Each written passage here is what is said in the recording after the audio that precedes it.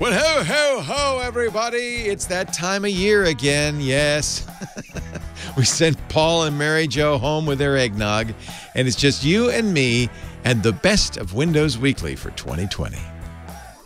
All this year, Windows Weekly has come to you from Twit's LastPass Studios. Securing every access point in your company does not have to be a challenge. LastPass unifies access and authentication to make securing your employees simple and secure, even when they're working remotely.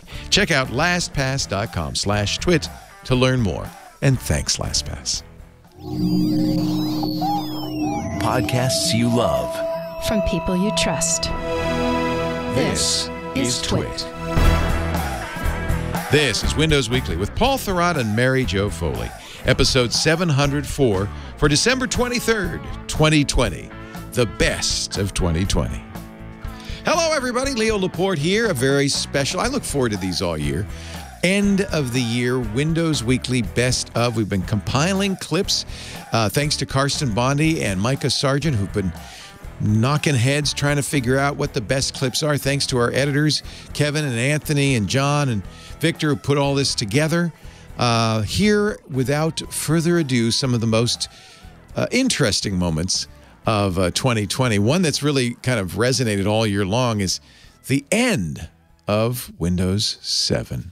The end of the line for Windows 7. It's uh, endings and new beginnings. Yep. It's actually a lucky thing that they had that last patch Tuesday. Mm-hmm. Oh, Why? but wait, they didn't fix the crypto bug Right, on Windows right. 7. Oh, No. oh, wait. Well, what are they going to do? It's almost like they invented a zero day just to prevent, you know, to get people to upgrade, you know, on day one or something. I, But did, I hope that- is so I I know very little about this, but didn't Windows 7 not need that No, patch? All versions of Windows needed that patch. I saw Windows 10, Windows Server 2016 and 2019 and that was flaw it. was in Crypt32 DLL, which is in all versions of Windows. It's what's used to sign certificates, and the threat. okay, one of the, by, one of the threats is that uh, you could f- forge a certificate. So you could say, "Yeah, he- Actually- yeah, I just wrote Windows Microsoft Word. Here, have a copy," and it can be I signed. do. I need to forge a certificate for my app. Um, exactly. so this was an important patch. In fact, it was the NSA that discovered it. yeah. Told Yep. told I think they told Microsoft. I hope they told Microsoft months ago. Oh yeah, yeah. Of course. They're Yeah, probably and then- stored around in that back door that they everyone knows they have. And um, I learned Don't new, start that rumor I learned again. a new no. I learned a new term called Nobus, Nobus. and this is a Nobus. N O B U S. is It's an acronym or a kind of a not an acronym. It's a squishonym that uh, the NSA uses for an exploit that's so hard to take advantage of that nobody but us can use it. And they don't patch. They don't tell people about Nobus. Right. uh, Michael Hayden, the former head of the uh, NSA, said, "Look, if it's going to take four acres of supercomputers to, you know, take advantage of this exploit, we don't bother getting it fixed. We it's good for us because we got four acres of supercomputers. Yeah, yeah. A few companies have that scale of. Uh, So there's this doctrine of, Processing of power. Nobus flaws. This was not a Nobus flaw. This is a kind of a serious Okay. issue, which is patched in ten, right? But Yep. Well, I mean, if uh, th- there's no excuse not to patch it in seven if it is vulnerable, and also eight one, right? Uh, they should Yep. be patching every. I'll have to look at the NSA bulletin, but I think that I, my memory is they said it would be in all versions of Windows, and because it's Crypt 32 DLL, which I think everybody, every all the crypto processes, including BitLocker and certificates, use. So it, when when we started our day yesterday, knowing it was the last day, Windows 7 would get patches. When I heard there were a lot of rumors going around about NSA press conference and this and that, and I'm like, oh man, are you kidding? Like, the is there going to be something? Right? Yeah. Is there going to be something where they say, okay, we're patching Windows 7 one last time, and this is why you need to upgrade? Right? That that was my guess of how, if that was Yep, what it was, they would have positioned it. Right?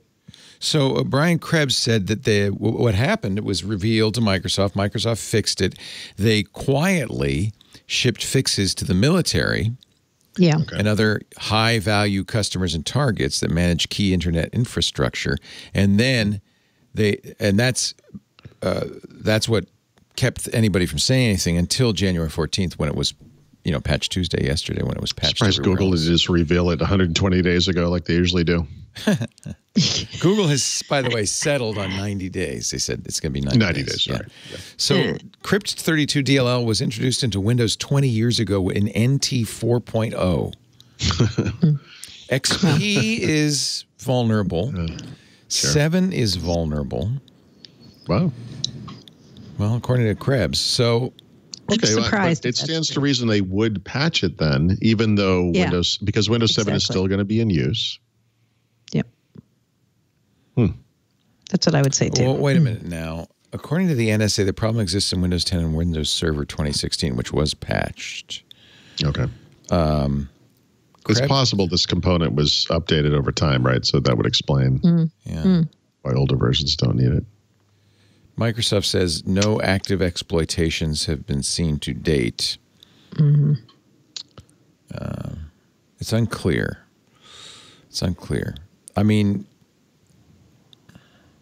It would be suicide for them not to have patch seven with this. If it right, that that that wouldn't even make sense. no. it would be like crazy because yesterday was the last patch it's like for seven. bye bye, and oh, hey, we left we a didn't little do that. something Yeah, for sorry. you. Here's a little uh, Windows 10 upgrade offer you might want to take advantage of. No, and you know what? If they hadn't done that and everybody knew this was the last day, don't you think there'd be this gigantic outcry? Well, I, look, Like, I, we have to right? kind of describe it this way because it is the last day officially. But Microsoft patched XP a couple of times. Um, They will, of Well, course, do it. If this was some rampant internet Yeah. attack, of course they would uh, ship a patch. So that's why I'm Yeah. keeping that Windows 7 thing going. I can't wait to see why? the next update. See what happens. Yeah. yep. Yeah, I- I it must be that it only affects because it's usually it's a it's a flaw in the ECC, the elliptic curve crypto. So maybe those earlier versions of Windows didn't even. That's a Have that, Yeah, right. have it's relatively new. Um, That's my guess. Just my uneducated guess. Yeah, We'll have to it has to be. Steve Gibson. Did you say educated? Edge. Is you said? I said Edge. uneducated. You mean creducated? Creducated. Creducated. nice. We're going to drop a creducation bomb. I'm looking at uh, Microsoft's CVE entry, and it does not mention any other versions of Windows. They just Yeah. mention the patches, Okay. but they don't say it doesn't affect. They don't say what it affects one way or the other. It so- would be incredibly irresponsible to patch one version of Windows, No, right? I mean, because- I- that makes more sense. Because th- Uh, there's still like 30% of Windows users, 25, 30% using Windows 7, including some of the biggest enterprises, right? And then Yep. they don't patch it. And it doesn't matter how you count; that's hundreds of millions of people. I mean, Right. no matter Yeah. you know, no matter what the number is. Yeah. Yeah. Yeah. They don't say exp- explicitly it only affects these versions, but that's all they patched, and they don't hmm. imply that it affected any other versions. Yeah. So, Right. if you really want to know something, ask Edward Snowden. We'll call him up. We got to be right getting to the point where his information's a little out of date. He's though, out of you date think? now. Yeah, he's only. Yeah. I just uh, I know what Putin tells Like me. asking That's all Wozniak for some information about like Mac internals. It's like I, you know, Oh gosh. I don't know. I hope it's patched. um, as far as we know, the upgrade, the free upgrade continues, right? Yeah. Yep. Today the is the silent, day. no one's talking about it. Free upgrade that Right. everyone can use. Uh, today's the day that you'll see a big pop up on your Windows 7 machine saying, Yep, I saw it this morning. Did you? Beautiful. You did? Yep. Yeah. Yep. So only on non-domain joined and machines and Uh, actually, I could be. Is right? that? Are you sure about that? they told me that. They said it will not appear on domain joined machines or machines I in think that it- kiosk mode. Kiosk mode. Okay. I, I think it might appear on domain joined machines Hmm. that aren't part of that extended service program. But I, where did I see that? They told me no, but yeah. Do you Right. hear from anybody who says, I, I just love Windows 7. I'm not going to move to 10? Yeah, um, I'm one of those people, Leo, and I got to say, no. Um, well, you know who used to say that? Steve Gibson. And he I know. even has, has bowed to the inevitable. He Well, upgraded. Yeah. So for the past two or three weeks, I've been using Windows 7, and I love it. And I have to say, this is the last version of Windows that was created before any of the mobile nonsense, Yep, yep. and it, it it has a, a purity to it that I really appreciate. Um, it reminds me of the Mac in some ways, in that it's kind of a minimalist system, and there's not a bunch of junk in your face, whatever. Yeah. I always said it was the best version of Windows they ever Yeah, made. The, the most popular, uh, I would say so far. Um, but you know, it's irresponsible to think that you're going to run this thing over a period of time. Um, and I understand wanting to. I, that I completely understand. Yeah. Um, Windows 7 users have not been served by any meaningful feature updates ever. You know, um, there was one service pack that came out in 2011 that didn't really have much in the way of features, and that was kind of the end of that. But let's face it, this NSA thing or whatever, there's going to be a zero day. There are hundreds of millions of people using this thing. It is absolutely going to be a target. And so you can Yep. do um, yourself a favor by using a modern browser that will help in some ways using uh, AV, obviously. But eventually, this this thing is going to be exploited, and and it's it's a ticking time bomb. It's unfortunate because it's it still feels very modern to me. There's also um, for enterprises some compliance concerns too. Like if you're running a browser that's no longer supported, like say you're not getting extended security updates, right? And somebody says, "Oh, you know, we're, you're going to supply something for us. What version of Windows are you using?" And you say seven. Yep. It's like, um, you know, That was the thing for people who were sticking with XP. That was when it finally, you know, they really had to change. Was when the browsers stopped updating, right? When you're not, And you know, and that took two years, by the way. Um, yeah. yeah, which is was, kind of interesting. that was the kiss Uh, of death. So we'll see how Right. long it lasts for seven. I, it's going to be based on usage. If the numbers remain and also high, what Chrome does, what Google does Yeah, with but I mean, Chrome. okay. Yeah, because everybody's part of- based on Chrome now, right? well, well, okay, fair enough. Actually, that's true. Yeah. Well, Firefox, we should look at Firefox too. yeah, yeah. Has but, um, Firefox it's a said? big user base. Um, I I don't th- know if Firefox. I feel has like said- they so lasted the longest with XP. Google just said till July 2021 they will Well, support they said at least Chrome until on- July 2020. until right? uh, So, right until least. Yeah, they could go. Up. Last time around, like I said, you know, with uh, Windows XP, they they went two years. Mary Jo had the uh, scoop. Big reorg at uh, at uh, Microsoft this week. Did it happen? Yeah. Is today the day? Is this like a- Today's the day. they do it at the beginning of most years, right? Is that right? Yeah, usually January or February you get these big reorgs. So it's not unexpected. N- not really. Well- Although you never know which part of Microsoft's going to get reorged in these things. Like, is it going to be Azure? Is it going to be sales? But today it was experiences and devices, which is the home of Windows and the home of Surface. Also, just real quick, the the tiny Yep. tiny slice of Microsoft that I care about the most. I know. I know. Um, I know. So um, uh, you filed this actually uh, at uh, 8 a.m. 815. It Yep. just ha- it just happened at the time. Yep. Um, Yep. I saw I saw it on Techmeme. Uh, Mm-hmm. You were at the very tippity top of the Tech Techmeme heap today, which must. Mary Jo, by the way, deserves some credit for the story, but I feel like I deserve some credit for my promo graphic. Oh well, let me. Oh, Go, yeah, you do. Let me, go- let me go pull up Thurrott.com. Did you use uh, Paint to do that, or um, no, I did not. You're always good with the graphics. They're always hilarious and timely. Panos in, Joe B out? That one. Mm-hmm. Okay. Oh, Because that was a, picture of something else in the background, and they is made it a- look like yeah, Joe B. Very subtle. It's very subtle. Very nice. Nicely, done. blurred to look like the original. Wow. Very nicely you done. even like you know played with the aspect ratio to give it a little bit of cantering. That's very nice. Yep. Yep. That's a good. But anyway, let's not focus on my amazing achievement here. Let's talk instead about. Well, wait a minute. I, now that I'm reading this, I'm a little scared. Uh, what what happened to Joe B? Okay, so there's lots of parts to this, right? So what's the biggest top line thing is Panos now is going to head up Windows and devices, not just devices. So his title stays the same, Chief Product Officer, but now he's running a group called Windows Plus Devices, and that's Windows Client, ex, you know, the experience part of Windows, plus all the other stuff he already was running, so Surface basically, hmm, in one combined unit. Before those were two separate units.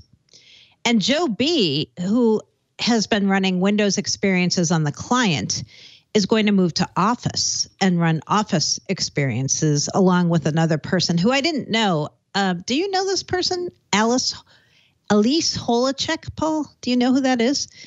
I don't believe so. No, I didn't know him I'm either. But together, names, but I that doesn't sound. yeah, I looked him up on LinkedIn, and I'm like, I don't know that guy, but um, I think he, I think Alice Holecek's going to be engineering, and Joe is going to be product management, and they're going to run it as a team. And at the same time, Joe is keeping the thing called Epic Essentials, Pro- Essential Products Inclusive Community, which means Nobody wanted that, huh? mobile apps on Android and Oh, iOS. you know, so he keeps Launcher and he keeps uh, your phone and keeps Microsoft News, I believe, as part of the. Okay. That Um, makes some sense. Um, does.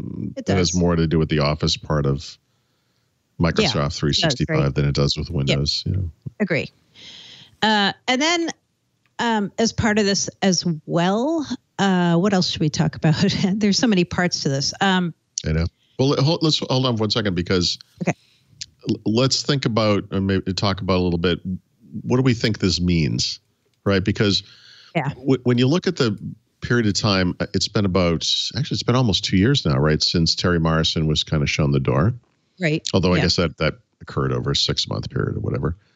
Yeah. Um, you know, my big complaint about Windows has been that it's kind of rudderless. You know, that there isn't a Mhm. face of this part of the company. Yeah. Um, obviously, as part of Microsoft 365, there's some representation there, but there isn't like a a person directly responsible just for Windows. You know, Right. There was a guy, you wrote about this, Mhm. Eran Megiddo, I think his name is. I know I'm butchering Mm-hmm. the pronunciation, but they appointed him in May of last year to kind of be the new face of Windows, but then he never really came out to the public and said, Here I am. I'm the guy. yeah, I'm running yeah, yeah, strategy for Windows, right? right. Um, so he Yeah. he also heads up some education initiatives too, and I I met him a couple times on education tours, but I never Mm-hmm. had like I he never came to an event and said I'm the guy representing Windows, right? Yeah, but that, but Panos Panay is a very high profile person, so exactly. him a, a person of his caliber being directly responsible for windows client Yeah. to me is great it's a great great Yeah. news um it, it's it, windows is still not directly represented on the senior leadership team which Right. problem with you know uh, we're, we'll talk about the revenue uh, the uh, Yeah. earnings later but microsoft just reported their latest quarterly earnings and we'll never know for sure because they don't provide the math we need but i'm pretty damn sure windows is their single biggest business and uh, Mhm. that's kind of interesting um, Yeah. That's not long You know, term, though. That's not the f- the future. Microsoft is not. Windows. i know but how many years have we been saying that you know Yeah. it's like yeah the cloud's the future True. windows is the past yeah cloud's the future it's like yeah well windows is still making more money than the cloud guys um, Yeah. so I, you know what we'll get we'll get to that but Yeah, I don't know if you saw what I added to my post later that I got a little snippet from Panos's email to everyone about his his oh, new don't- job. i don't think so nope Uh, but he did say this is an amazing time and opportunity to bring more energy to Windows and our customers using Windows. So you he's go. saying like we know we we've been kind of Yeah. all over the map and Pay we no gotta attention figure- Oh, you to mean that. I'm not the only one Satya Nadella fellow. Windows still rules.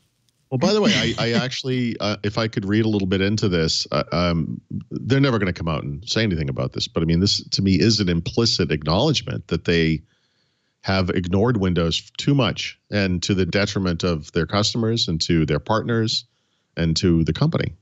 Well, that's interesting. okay, so so that's the tea leaves, which I was going to get to. Like, what does this all Mhm. mean? I think that's interesting. That's part of it. I mean, I, I that's part of it. I, it, Yeah. it's. It, it's not a complete reversal. Like I said, there's no SLT re- representation here. Um, What's or any SLT? change. Uh, senior leadership team. Sorry. Um, So in that's like words, such uh, as inner circle, right? Of people he So- he takes advice from and meets with every week. Panos does Yeah, not get a seat at the table, No, he does not. the big boy table. But Panos's boss, Rajesh Jha, is on the SLT, the senior le- Yeah. leadership team. So the the other thing, uh, you know, if, if you're looking for something negative to worry about um, with the Panos situation, And who well, no, I mean, I, who, who would that? Well, who no, would no, be other words- looking for that, Paul? Who who looks for the the dark Although cloud I in every this silver overwhelmingly lining? positive. Okay, well, actually, I'm I'm sorry. I, I'm going in a direction that I don't think you're. I'm, I'm not going in that direction. Oh, what I mean is, I one of the complaints one might make about Panos uh, becoming in charge of Windows is that he is the last vestige of the Sinofsky regime. Oh, um, he came up good. under Sinofsky. Um, that was a very divisive period of time in Microsoft's history.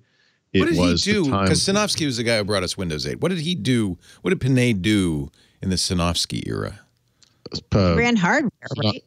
Well, he did soft Surface. Uh, Surface only Oh, well, happened that's because bad. Sinofsky That's- looked at it and said this needs to happen, Yeah. and he pushed Yeah. it through. So he, he- that's he- uh, he- that's plausible deniability. I mean, he's not sitting there going, "What we really need is a tablet-based operating system." He's not doing that.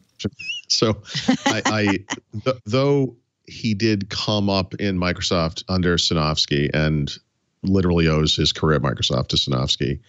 Um, I don't. He is. He doesn't have the ability to ruin Windows like Sinofsky did. There's no indication that that's what he wants. In fact, um, Thank you. Glad to know that. well, no.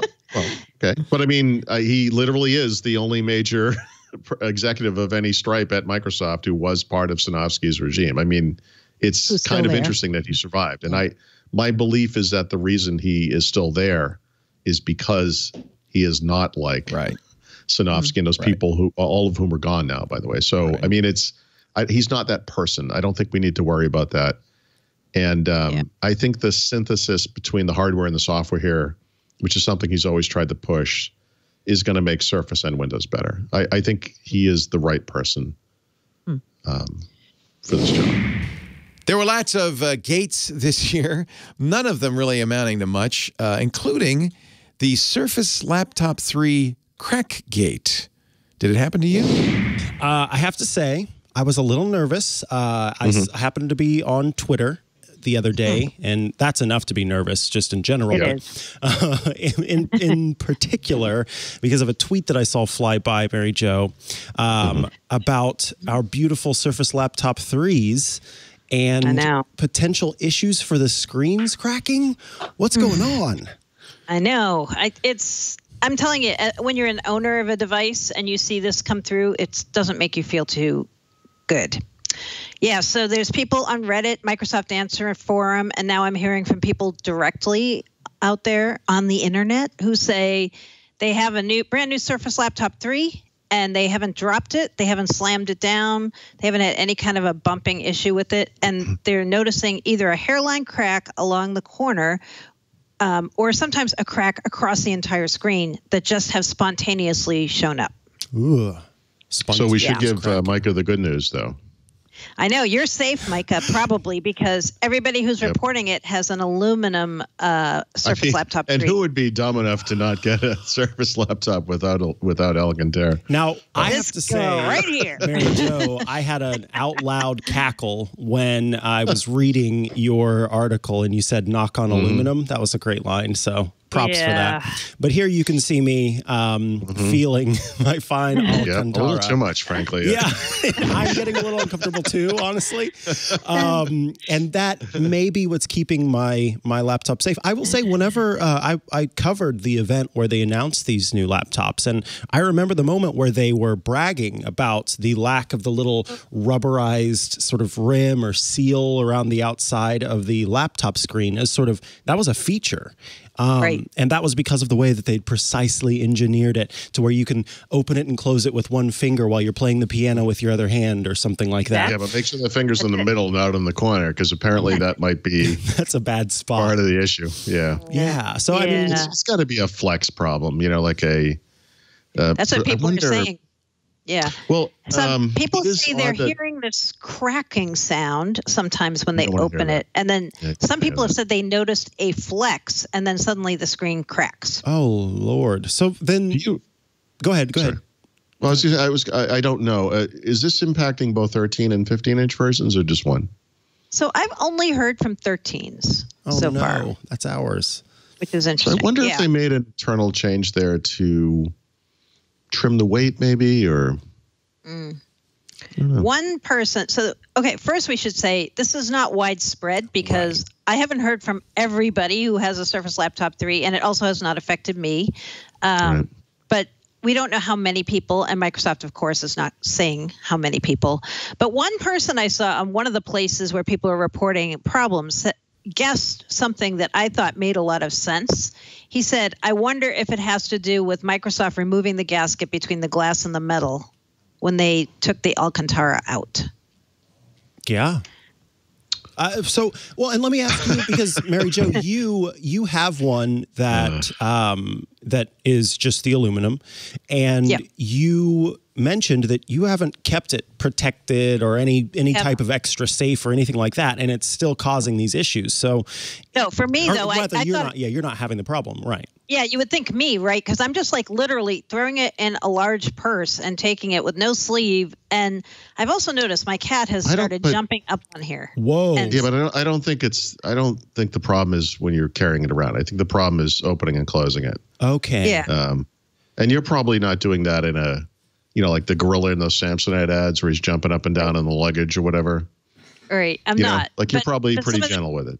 I am, but I see people who are are reporting this saying I'm not somebody who slams my laptop open or closed, and I baby it, and it's so uh, we don't really have any sense of how widespread, why it's happening to some people and not others. But we do know, as of yesterday, that Microsoft Microsoft said they're investigating it, and that's the first time they've said that. They said a limited number of customers have contacted us and reported screens cracking through no, no fault of their own. And we are evaluating the situation and investigating the root cause of the claims. You know, do you think Microsoft, under any circumstances, would say an astronomical number of customers have contacted us? No I company. No No. company. No. Um, you know, But you know, it, I would say both you and I would have heard from an astronomical number of people on Twitter and email if this was happening to a lot of people, right? Right. right. That makes Right. sense. I would think. So here's You're my right. one my one sort of issue. If it if we've seen it only in the ones that are aluminum, or as far as it seems so far, um, then how is it an opening sort of screen issue? Because this screen is not affected by stop touching it. You're going to break it. What are you doing? You're right. What am I thinking? I need to. I don't know where gloves. How many news it. reports do you have to read? Uh, how come I, you know, it, it seems that the ones that have know. Alcantara are not being affected. Is there different? I wonder if there's a difference in the actual build of the product between my version and your version, That's really aside weird, from though? just the That's felt. got to be a weird coincidence. I I I, uh, I remember I, I used to live out west, and um, we would get the engine steam cleaned on the car, and then the oil, would leak. And so before the the grease covering the engine actually held the oil inside, and like maybe that's the role that Alcantara plays. I kind of in love the, that uh, theory. It like it holds it together, you know. I Like, was the guys are all dumping on it because it's got like Cheetos and the wrist rest, but actually that's the thing that's holding it together. It's the That's glue. so fun. I, it's it's a coincidence that you bring that up because I've been researching getting my engine steam cleaned. So it's really odd that you bring that up today. So the, Yeah. the motto is do not. Do, not do steam that. clean your engine or the oil will leak. Uh, well, we had an older car, but I mean, you know, uh, at the time it was just disappointing because literally it was holding in oil from dripping out of the engine. oh my goodness. Uh, so what do we do? We just I know. hope against hope. Is that the solution for now? Well, some people are bringing the laptops into Microsoft stores or the places they bought them, and they're Hmm. saying, "Hey, I this happened to me, and I didn't cause it. And am I under any kind of a warranty? Am I going to have to replace it?" And right now, the agents who are responding online and in stores are telling people you're liable for it, and you've got to replace it, and we're not paying for it. I my guess is if this is something Microsoft can document, they're not going to say that because I don't know if you guys remember this, but in 2018 there were some um, problems with flickering screens on Surface Pro 4s, and Microsoft ended up replacing the devices for free in the end. So I think if this really is something they can prove is a pattern and not the fault of users, I think they're going to have to replace them for free. That would be my yes. I will. I will say this too, because obviously in the Surface world, we're all familiar with the problems of three and a half years ago, whenever that was, um, three, four years ago, whatever, with Surface Pro 4, and especially with the first gen Surface Book, uh, massive reliability problems that they never really got on, on top of. But the one of the big problems with that event initially was just how silent Microsoft was. Yeah. So I will say at the very least, like this time they've acknowledged it, what seems like very early on. And I, I take that as a hopeful sign too. Me too. I think I think Yeah. um I saw some reports of this dating back to January, but they were very isolated, and now they're kind of piling on, right? And so Yeah, yeah. now that the press No, it's has not picked like we- up on but- this, Yeah, we haven't been Yeah. talking about this since November, right? And then Right. all of a sudden they finally say something. I mean, it seems like they did jump on it fairly early. So I, I, I will at least give them credit for that. I mean, I one of the, the you remember the it's a hard computer science problem was one of the things that had come out of that initial event. I mean, it's not like that at least not yet. So it, it's that's a, that's a positive sign. It is. It is. And they're at a point in their surface um, history where you don't want this to start happening, right? Because they're Yeah. they're starting to get people liking their devices, and they pass they pass the Consumer Reports hurdle that they had, and I think Yep. they know if this really is an issue, they've got to be on top of it, and they've got to get to the agents in the field and tell them stop telling customers it's their problem, right? And tell them we're looking at it, Yep. and you know, hold on, don't panic. So I'm trying not Yeah. to panic, but I'm kind of panicking. I like every morning now I open my Surface Laptop 3 and I like put my hands on the screen like are there any cracks? Yeah, I got to make sure there are no dust particles anywhere on it, so that if you press it, yeah, oh boy, Yeah, don't get any crumbs in there. you know. Don't be eating Cheetos over this thing. huh? oh No, man, but the Alcantara is great for rubbing your Cheeto dust on. That's right. Darn it! No, you're you are okay, Micah, because it. I haven't seen anybody with Alcantara saying that this is a problem for them. I haven't seen a single person say that. Weird. Build is on. Now we're are we interrupting anything important that you wanted to see or I No. I think the Scott Gu thing was replaying when this started. Okay. Yeah, we missed Mm-hmm. that. We we uh, we streamed uh, Satya Nadella's uh, RGV to CW Mm-hmm. speech. That that cleverly hidden message. What was that, by the way? Oh, you I don't still even don't know. what know. We found out before the end of our stream. It's base 64 for devs. It's, it's his way of saying developers, developers, developers. Ah, I wouldn't It was give him clever. personal credit for that, but yes, It was is. clever. I thought that was clever. Do you think somebody said, Mr. Nadella, if you put RGV to CW behind you, the world, Yeah. it's It'd an be Easter super egg. cool. It will be super cool. Yeah. I don't think he even knew about it. I think they just said, "Here, stand here, read that." You don't think that's his house? was that his house? Uh, it looked like a That's a set. good question. I, th- I think If a lot is, of those sounds- were sets. It doesn't look we like that all the time. I can tell you Yeah. that. Well, and then uh, and then we watched the Imagine Cup, which was better, frankly. Be- Yeah. uh, because it didn't have. I don't know, I just felt a little Actually, less I'll tell you, you know why it was better? why? It, and it was the reason everything was better because everything was held to 20 to 30 minutes. Yes, short. That honestly, that made it better. Yeah, Just get Yeah. to the point, I'll agree with you on that. you know? Yeah, I know. Keep things moving. That's always good.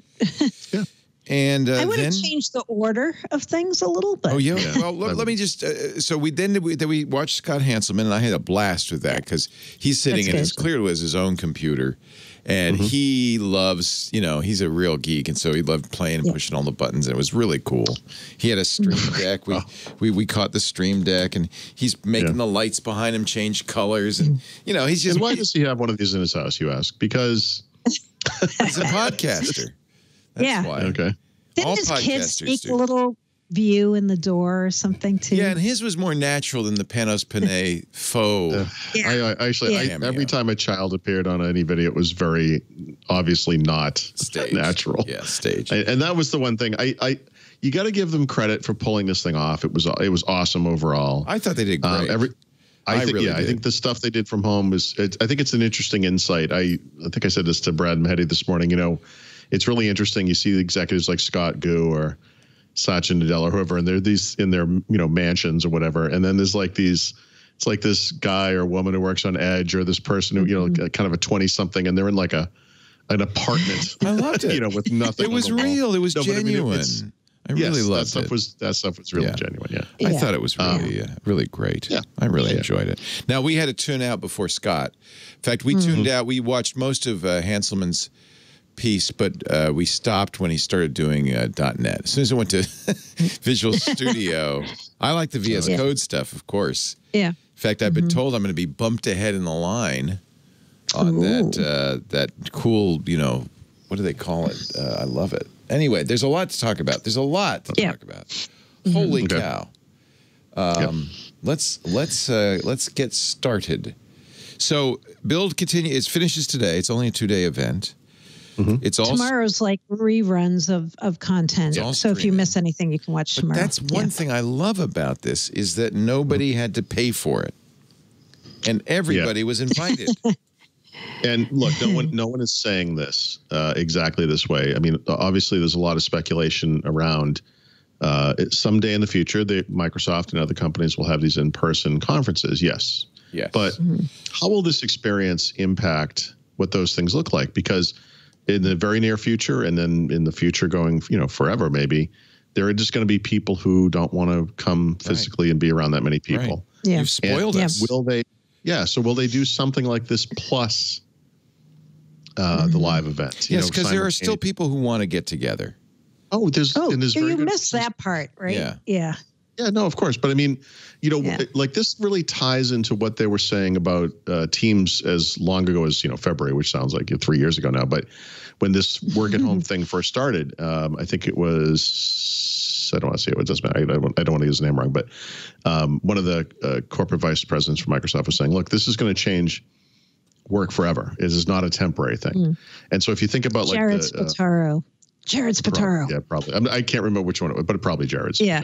So Yeah. um, I just didn't want to get it wrong. But, uh, you know, the idea is that, look, in the future, we will have these meetings and they'll be in person. But the, the capabilities of Microsoft Teams allows you to record those meetings. It allows people to come in remotely while it's live. For people who watch it later or even live, there'll be li- live translations of the language. There'll be uh, automatic uh, textual display of what's being said. You know, there are like all these advantages to doing it both ways at the same time. And I think you could apply that to the conference situation. Yeah. And you You know? got to figure when they're looking at expenses, the expense of doing build this way versus the expense of having everybody God. come to Seattle, renting the convention center, all the food, yeah, yeah. right? I mean, I, you have to but- look at but, I that mean, if they you're still have to, weighing I- this. but they can't just cut it off. Like in other words, no, no, no. maybe no, you know I don't know what the attendance level at Build was five, six thousand, something like that, probably. about that. Um, yeah. Yeah, so maybe in the future, it's you know two years from now or something, it's two thousand people want to show up. So Mhm. maybe they can book a smaller venue, but maybe they can Yep. do this online component where it's live. Yeah. and and they Yep. repeat sessions like they're doing for different time zones, and people Mhm. can watch these things from home or at work or whatever the situation is. You know, Yeah. I think that'd be cool. That sounds great. I, Yeah. you know, And you know what worked this week? And I was worried about this was how how would they hold up under the the load of all the people coming in and talking in the stream and watching the stream and most I haven't seen many people complain about it going down. Very few. Very very few. oh yeah, I wasn't even aware of any, so that's good. Yeah. So that that was a good test um, of how how this would all work. For sure. Yeah. So I mean, overall, um, it was great. Um, Yeah. Obviously, I mean, the leading news was the uh, Xbox Game Pass thing. so No, don't, no, yeah. no, no, no. Stop, Definitely. stop. That was like No. really top of mind. As happens every year, Microsoft brought in new products. They also rang out some of the old products. One of the biggest surprises was Microsoft's streaming gaming service. They bought it for a lot of money, gave it only about a year, brought in some high profile talent, and then just suddenly closed it down. Uh, technically, it's I guess an Xbox story. It's in your Xbox section, but actually, I think it goes much farther than that. And I don't think Mary Jo wants to dial out for this. Microsoft's giving up on Mixer. In fact, Yeah. I wrote the story. This is Oh, right. I'm sorry. This was a Mary Jo this is story. a bit of a shock. Yeah. Also, when they announced it was kind of telling in the middle of the Apple WWDC. Oh keynote. yeah, yeah. That's why it was Yeah. a shock. It's like what? I was watching. I wasn't watching a the keynote. I, I was watching just to see if who was Like, going to uh, dump news, hey. and I'm like, oh, Microsoft. The Thurrott's tweeting up a storm because of Apple. Let's drop the news now. right. That yeah. So thinking. I, in some ways, am not surprised about this. Um, Right. Yep. I mean, Microsoft was spending so much money. They were they were paying all these big time game streamers like Ninja and Shroud, whoever those people are, um, to stream Yep. on their platform to try to get Mixer Oh, to be I more competitive with that. Twitch. They brought Right? Ninja over. That They must have cost Yeah. them millions of dollars. That was only a few millions. months ago. Millions. Uh, one of those guys Yes. got $25 million. I don't remember who's who. Oh, it would have been Ninja. yeah. Oh my Yeah. Yeah. God. But, but, Yeah. but here's the thing. So, to, to Microsoft's credit, because I think this was last fall when that happened. I don't understand that world. I don't understand how one of these goons is worth twenty five million dollars. Whatever. I don't. I and I'm a gamer and I don't get it. But okay, Yeah. whatever. If you're serious about this market, And this is like anything else. Like you're a sport, you you want LeBron James, you got to pay for that. If you want to win the championship, you know that's what Yeah. you do. So Right. uh, to me, that showed that they were serious about it. Right? They I gave know. it. You know, they know. they tried. Anyway, it didn't work. But, yeah. No, no. What the the way they originally got into this was they saw what Twitch, what Amazon was doing with Twitch. They saw what Google was doing with YouTube and around gaming, and they're like, you know what? We we're in we're in we're in the gaming space. We need a game streaming service. So they bought a company called Beam in 2016, which was just like 30 people or something, and they turned that into Mixer. Um, and then they kept trying to get Mixer to go, and I kind of knew it was in trouble because you'd see a lot of Microsoft MVPs and Microsoft employees streaming, but they would be using Oh, Twitch, right? They would never That's use Mixer. Mary Right? Jo, next year I'm like, see so- Max. I'm just saying. Right. But go on. right? So it kind of reminds me, in a way, this happening of what happened to them with Nokia. Like Yep. they paid a lot of money, they invested heavily, and then they cut their losses early. Um, instead of just letting this continue to try to events. go.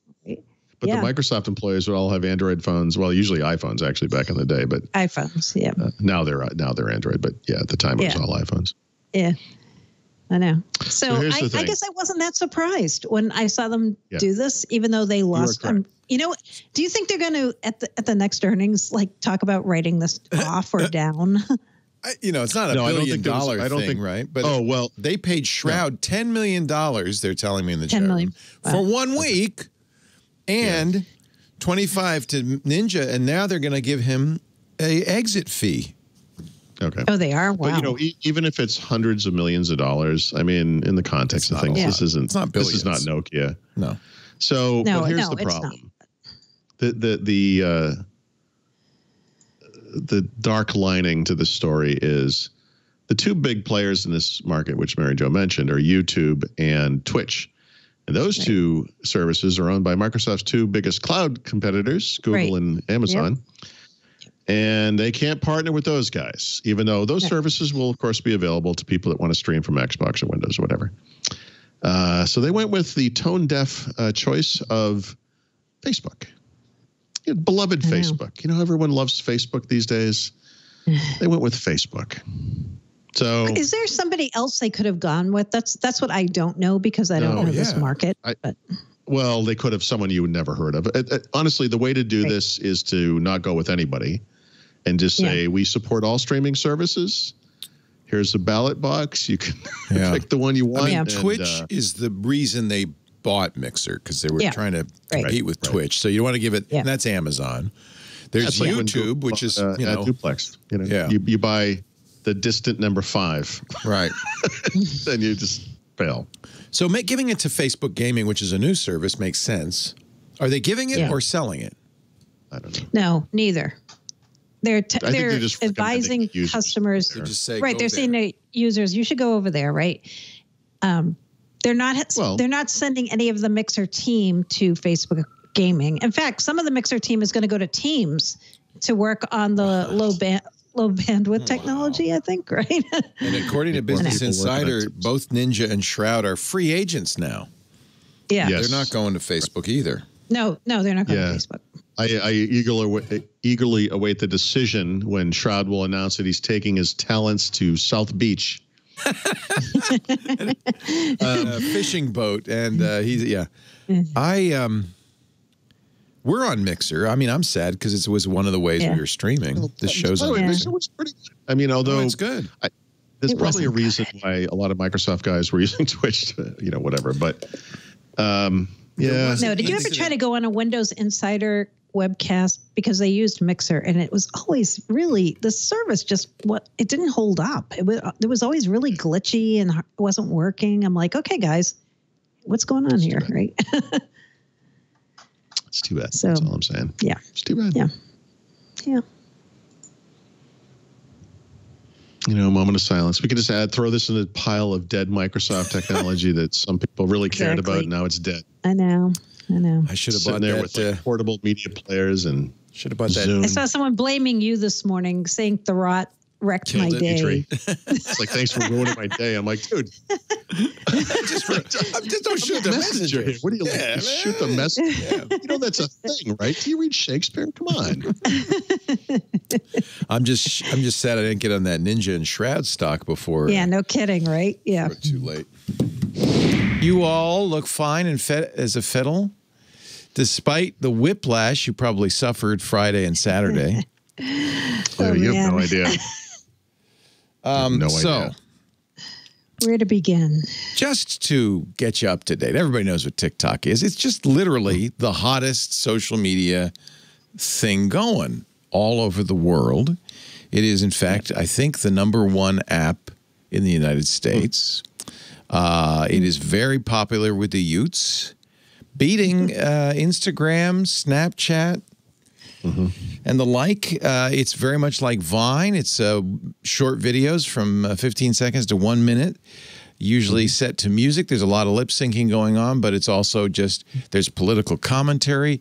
Comedian Sarah Cooper does great stuff with her Donald Trump lip syncing, and uh, and I thought it was all about cute kitten videos and people dancing in their living rooms. Am I missing something? That's the secret uh, of TikTok is the algorithm watches you as you watch it and then gives you stuff you like. So Did I just betray something about my betrayed preferences? a little something. P All I see is uh. Korean boy bands. I don't know. I don't get any of those. So there you go. See? That's the algorithm at work. There have been complaints in the past about TikTok uh, and its algorithm, perhaps uh, because it's owned by a company in China called ByteDance, perhaps blocking, uh, well, fat people. uh, nothing about Right. Uyghurs, nothing about Hong Kong. Um, So there have been complaints about the algorithm in the past, all of which TikTok has apologized for and fixed. Uh, as far as I can see, and I use it on both Android and iOS, but on the iOS app, it doesn't even ask for location permissions. It asks for permissions to use the camera and the microphone, if and only if you want to record something. If you're just watching, uh, it doesn't Yeah, know but any. it's all going back to China, Leo. It's all going of to it. China. Even TikTok says it's not going to China. It's going to the U.S. and servers in the U.S. and Singapore. Nevertheless, They say Never the well, and I believe them because frankly, who look, okay. If you're in the depart if you're in the armed services, no, you shouldn't have TikTok on your phone as you wander the Pentagon. That's right. I grant you that. Uh, you shouldn't have shouldn't have Facebook, You know, Strava, Cheney- or, Instagram uh, either. Somebody might break out into a dance or something. Then you might know, wanna want to be ready. You want to be ready. But as a normal citizen, I, I feel like TikTok uh, knows less about me than certainly than Facebook or Instagram or a variety of other things I've installed on this phone, including Leo, apps from all over the about world. you and is sending that information to the Chinese government and or the Communist Party of China. I mean, don't you understand the ramifications? So, despite no proof of uh, of uh, that or anything else, Right? It's, it's literally no proof of that. my suspicion is it might have a little something to do with the TikTok uh, meme that spread about registering for the president's Tulsa campaign event and then not showing up. That was a we understand due to a TikTok meme and then due to a the K-pop stans, which for, for reasons I don't know, K-pop fans are called stans. And uh, they apparently jumped on this, registered for a million tickets uh, much to the fool Brad Parscale, who, who trumpeted it, say, "Look, we got a million people registered," little knowing that the way it was set up, anybody could register. Uh, nobody, sh- none of those showed up. They had a big outdoor thing. They had, it was kind of embarrassing and dismantle it. And, uh, you know, uh, the stadium itself inside wasn't even full in Tulsa. So I wouldn't be surprised if there's a little bit, knowing our president and uh, Well, how personally hey, he takes look, his stuff. It's just nice to see him going after some company that's not Huawei for a change, you know? Yeah. well, and that's the other thing. He's got, you know, he's got a love hate with China. You know, it goes back and forth. So the last thing we heard, uh, he said last week, I'm going to ban it. Unclear under what authority he would ban it. CFIUS, the Committee on Foreign Investment in the United States, would have the power, I think, uh, to do something about it. They're investigating, but they haven't said, said anything. These videos are too viral. Viral is bad. It's too damn entertaining. That's clear. Yeah. I've been going back and forth. Then, by the way, on the Air Force One, he said, uh, I'm I'm I'm gonna cl- shut it down, and I don't want anybody to buy it. At which point, Microsoft, who apparently in behind the scenes have been negotiating for weeks for to buy the U.S. and uh, Australia and New Zealand assets, said, "Ah," threw up their hands. Then the next day, Satya Nadella calls the president, according to a post on uh, Microsoft's blog, and they Speed worked. dial number two. They yeah, Mr. President. Uh, Yep. what if we did buy it? And apparently they worked out something. Then later, the president said something really kind of unprecedented. Oh, and we want to cut. I know we want to. yeah, he yeah. wants a. no, big- we want we want you to pay the treasury a lot of money. That's how. That's how our government works. It's very mob kind of mentality. Like, well, we made the deal, so we should get. Yeah. You know, a per- did he ever mention a percentage? Because I didn't see. I remember, No. but it would.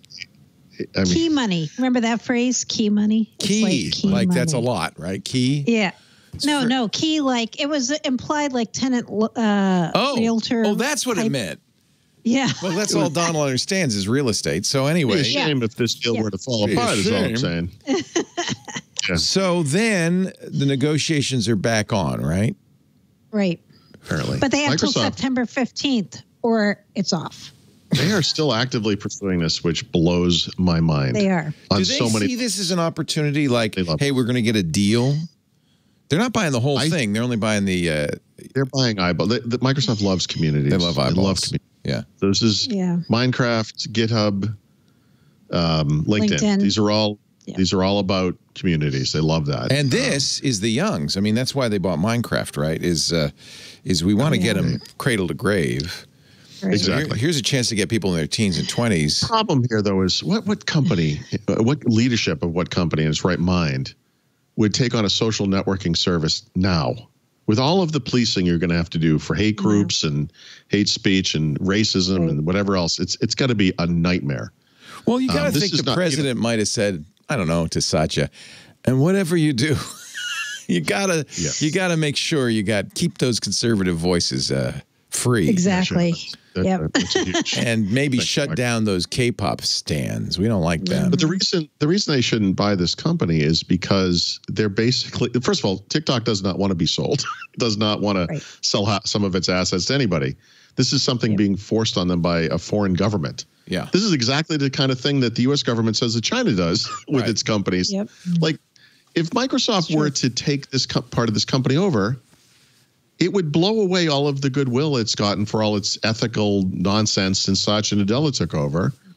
I, I mean, this is I, you're doing this at the behest of the United States government. It's crazy.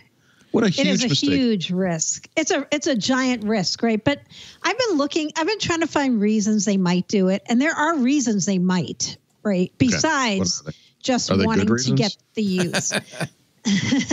are they good reasons? Well, you, do you remember when Microsoft bought LinkedIn and everybody was like, "Why?"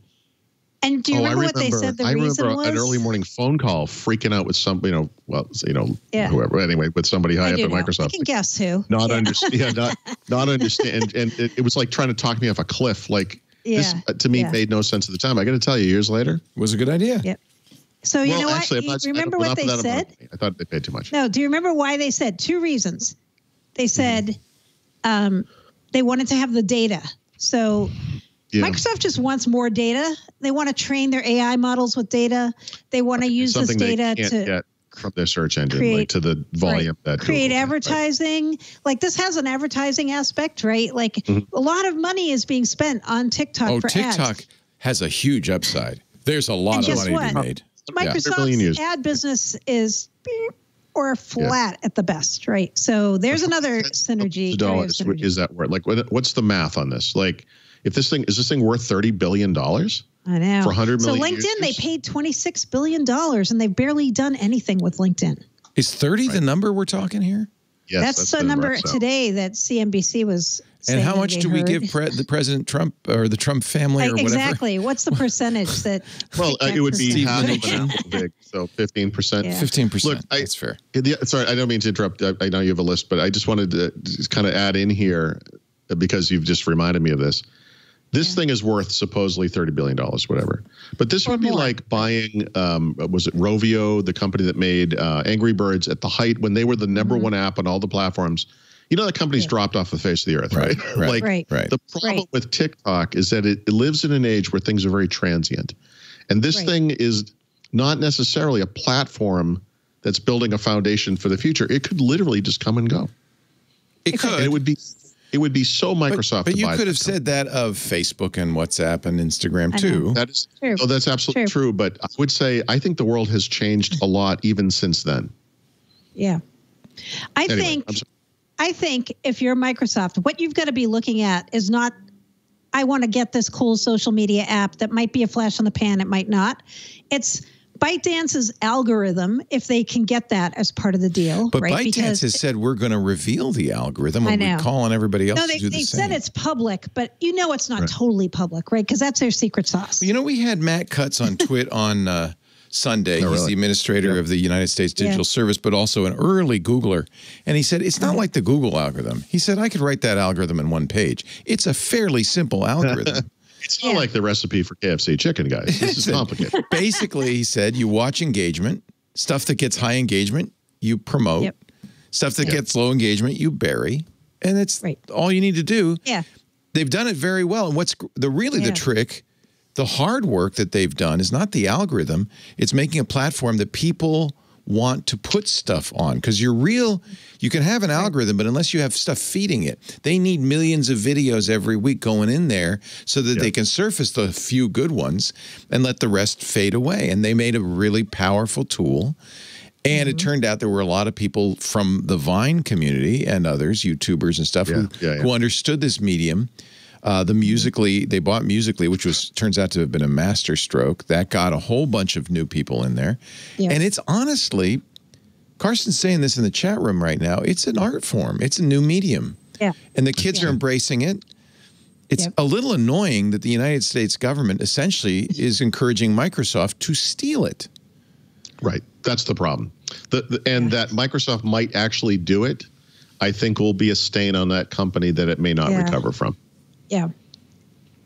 Yep. So the other thing I'm sure they're looking at. So we talked about advertising. We talked about the algorithm. So uh, the words, uh, these two words come up a lot when you research us a little bit. It's called interest graph. So you know how Microsoft's big on the idea of these graphs, Yeah. um, like the social graph Yeah, and the work yeah. graph and this graph.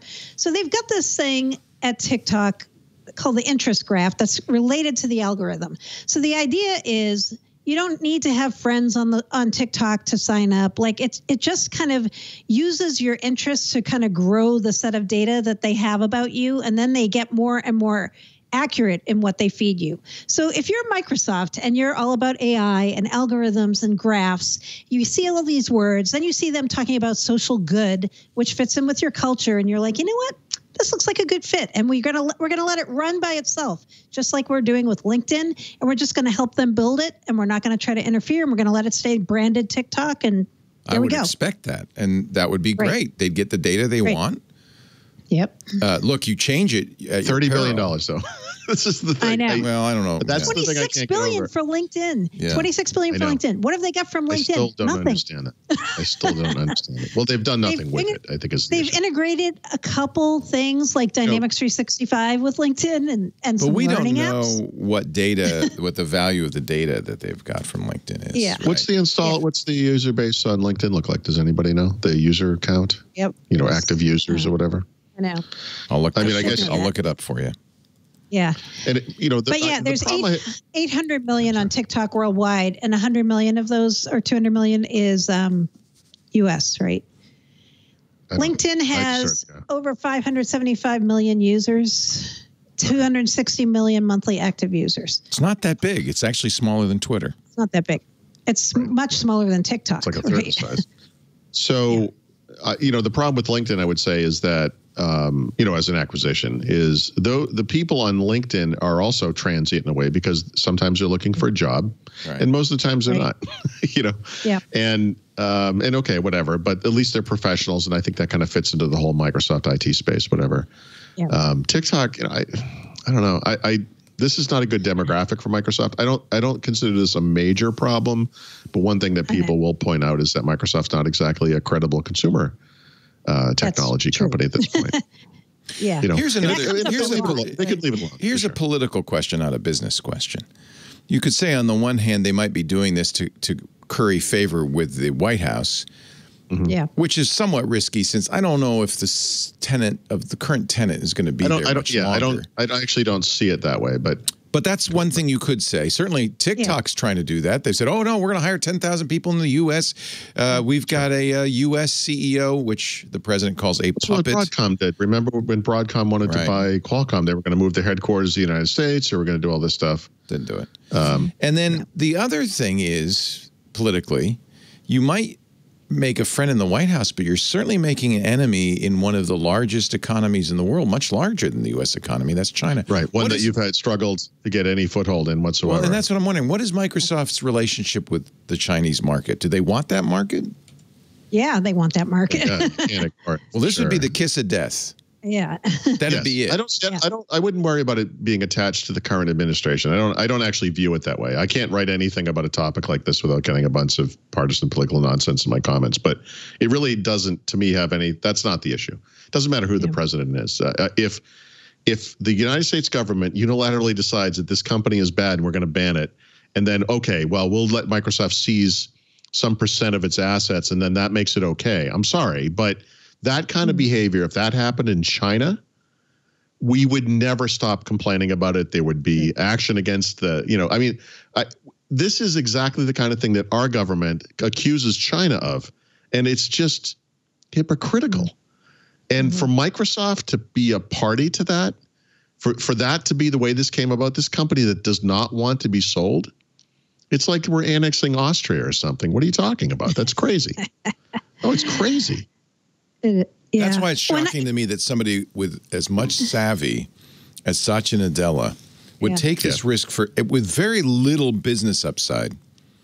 Would take this risk. I think there's a don't get ton of business upside. Maybe that's it. I- Maybe it's so good that they yeah. can't turn yeah away. i think that's the problem they're they're like see all these things that they want the data the algorithm the I- interest okay, so- graph I actually I think you're onto something because the one thing I think everyone can agree on is that Microsoft has bet its future on the cloud. But Right. one of the Microsoft one of the problems that it has is, you know, a lot of its infrastructure is dedicated to what is essentially private businesses. They're not getting access to that data. They Right. can't use it to build their graph and so forth. And so they are losing out to Google uh, in the kind of the public search space, obviously by a huge margin. And what that means is they don't get as much data to fill in the public Right. parts of the graph. And Right. Bing just is, you know, and maybe these other networks, LinkedIn is good for work type graph. Uh, TikTok Yeah. could work on the consumer side, gives it a lot more exposure to the outside world than it would have otherwise. So you could kind of make that argument, but you really got to weigh that against the downsides, which I just feel are yeah you do Here's Really my, here's my another theory. Microsoft m- misjudged this. Satya Nadella misjudged this. Thought he would be seen as a savior right. of a product that um, millions of American teenagers and young people love. That they'd be seen as a savior because otherwise it was going to be shut Yeah, down. but that's like saying, "Hey guys, don't worry, we figured out something for TikTok. Oldsmobile is going to buy it," and they'd be like, "I'm sorry, who?" well, Like, I, I mean, to- to that Microsoft's better audience, known to that audience is- than Oldsmobile. oh yeah, but they're better known as they might as well make couches or. Right. I mean, they're like, Yeah. uh, didn't they make the rotary phones? Is that who Microsoft Well, is? they might I mean, still have ambitions with the, the youngs.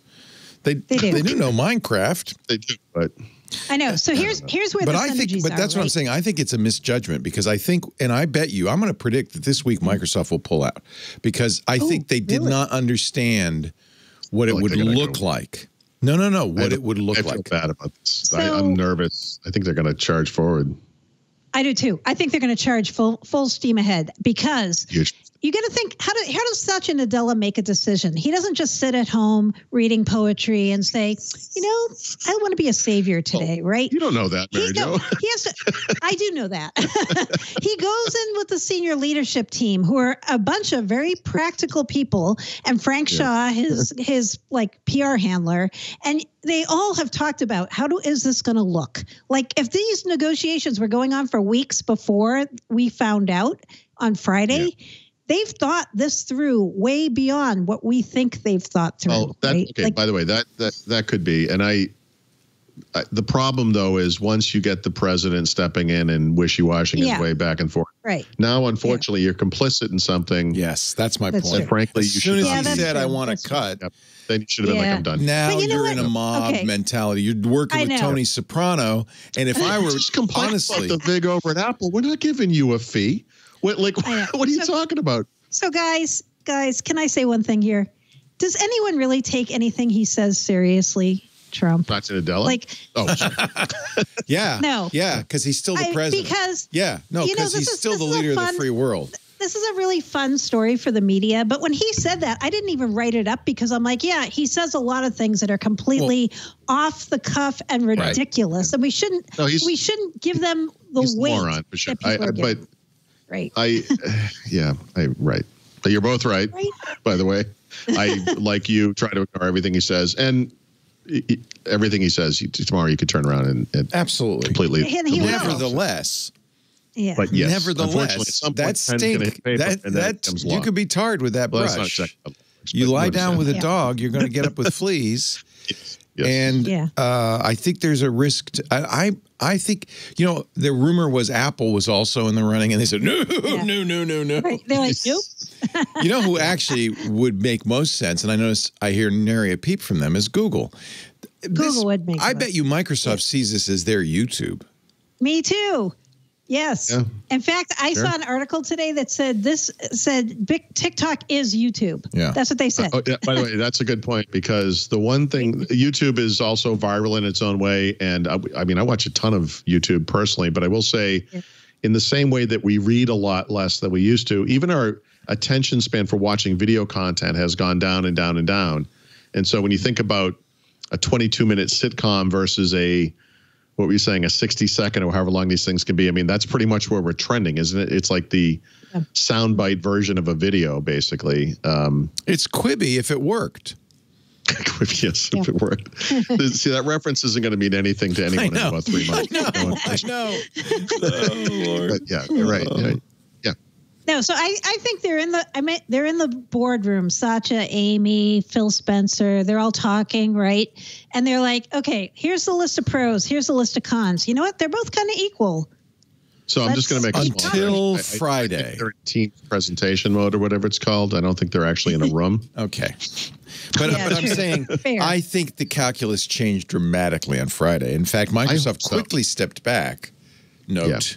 And they stepped know, back based on one of today- sentence in the middle of a conversation on Air Force One. And they said, whoa, you know, oh, we are Yeah. so sorry we're dealing with this clown. Well, I think, Yeah, by the way, everyone who's dealt with this person has had that experience. So, like, wait a minute, that's how he makes decisions? Yeah. Like, Yeah. I spend more time picking a, an orange in the supermarket. Yeah. What are we? Like, what are we talking about here? I mean, it's crazy. I'm going to predict A, the president is not going to ban TikTok anymore. I mean, this is all saber Yeah. rattling. This is all his, in theory, how he negotiates. That's not really on the table. It would be. Well, because there are actual people behind the scenes who start scrambling to say, "Do we actually have the uh, legal right to do this? we don't. How Okay. we do it? Executive order. You know how long that's going to be in court.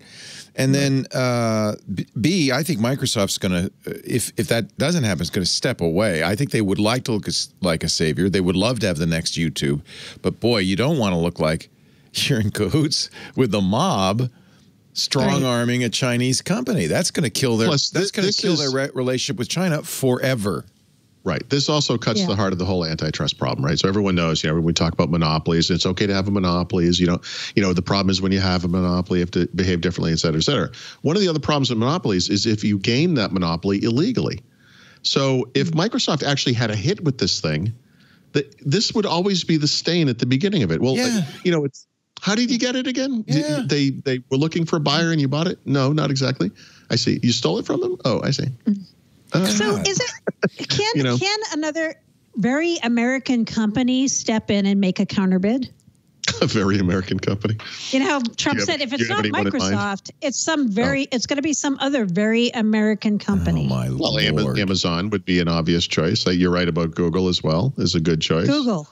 Well, I don't- Apple look, Trump's makes never going to let Amazon get it because he sees Amazon as Right. the Washington Jeff Post. Bezos. Yeah.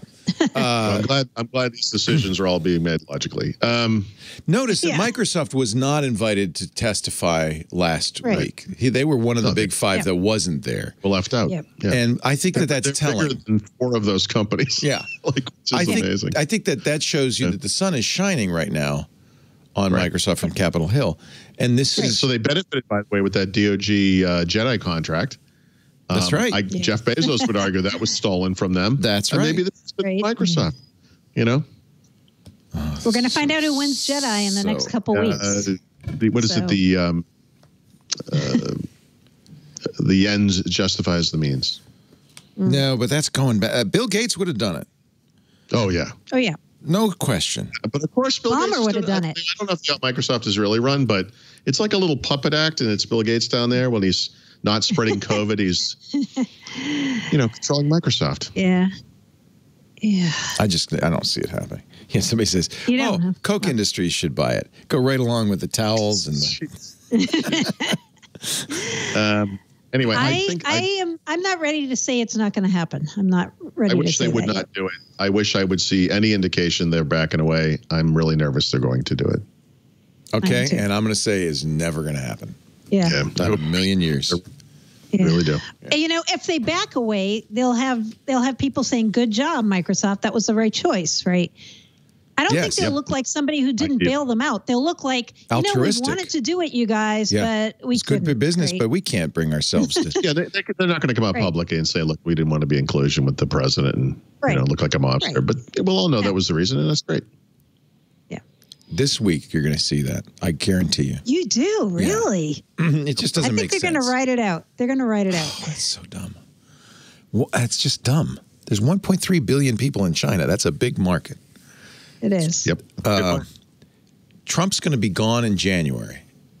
Or if he's not, then, well, doesn't matter anyway.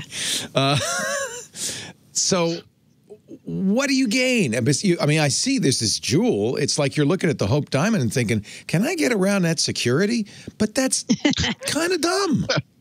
yeah. Or maybe maybe they get the deal structured in a way that they get the parts they want and they leave the other parts to investors or How?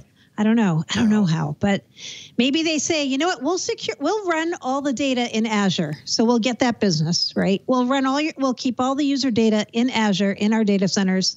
And then we're going to let the investors in TikTok who we've heard are also part of this negotiation, they can figure mm-hmm. out the front end and who runs the service. Oh, There may be Um, there may be some finagling that's possible. Right. That's what I a- mean. A, I a think face-saving a- negotiation so that Trump looks Yes. like he got something done. Right. Microsoft Right. maybe gets a little bit of what they want, and TikTok Yep. gets to continue on. You know, Yes. maybe Microsoft says, you know, But all you have to do I is mean, run your servers. That's like saying, "Hey, look, you're, you're going to get off the desert island. You just have to eat your foot." you know, like you're going to get off. No, you're going to live. It's okay. You're going to see another day. what, what about this scenario? TikTok does a deal. We're going to run all any data coming out of the U.S. goes to Azure in the U.S. Mm-hmm. and Yep. nowhere else. we don't see it. No one sees it.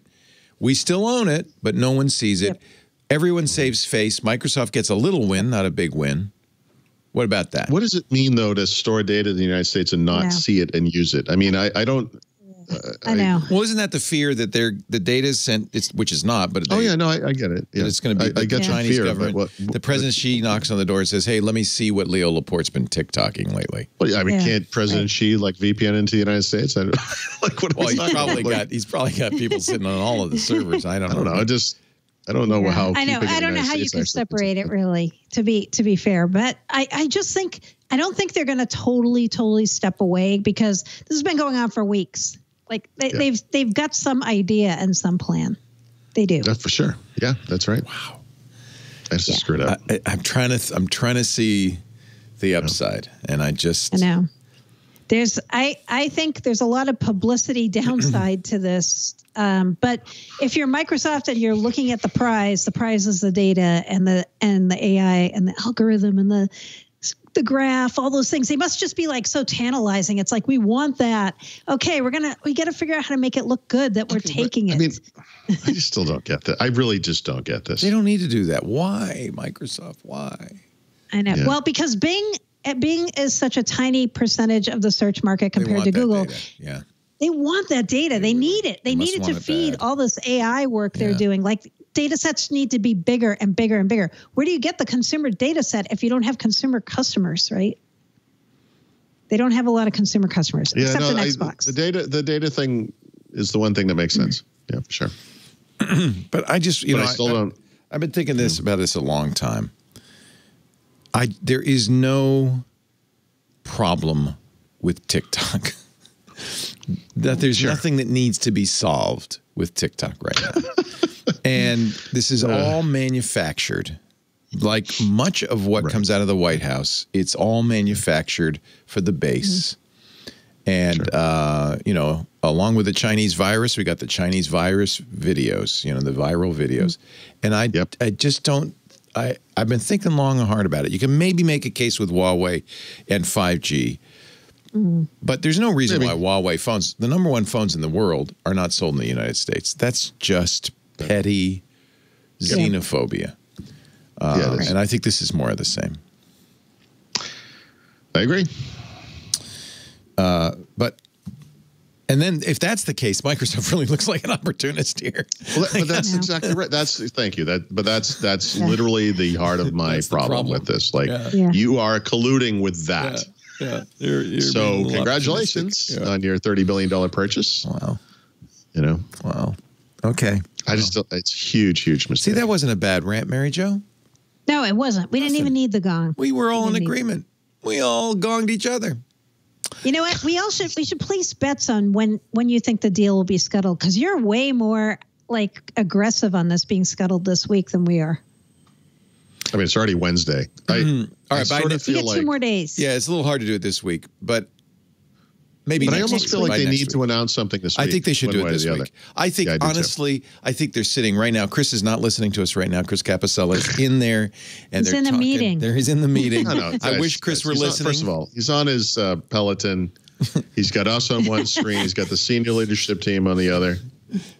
You know, Feel the burn, Chris. Feel the burn. How do you like your duo, Mary Jo? You can finally talk about it. I know, I know. So my review was very similar to a lot of the other else's, reviews that I saw, Yeah. which was the hardware is amazing, the software not quite so much. Yeah. Yeah. They uh, Um, pushed out a yeah. pretty big update the minute I got Yeah. mine out of the box, and I'm sure the reviewers got theirs too. Well, you know, you know when we got that update. So here's a little inside story on that. We we were supposed to get that update on September 10th, the day the reviews came out, and I think they thought better of that because they were like, wait, we better give them this update to stabilize things before Yeah. they do their reviews, right? right, So yeah. we get it a week ahead, which Oh, was good. Wow. Yeah. Yeah. I um, you know, I. What do you think? I agree with you. Beautiful hardware. Yep. In fact, it makes me more, even more interested in the Neo, because the Neo will be a big version of this running Windows uh, 10X. And X. Yep. with a keyboard because that's one of my complaints about this is the the form factor which is really like a little book cute little book Yeah.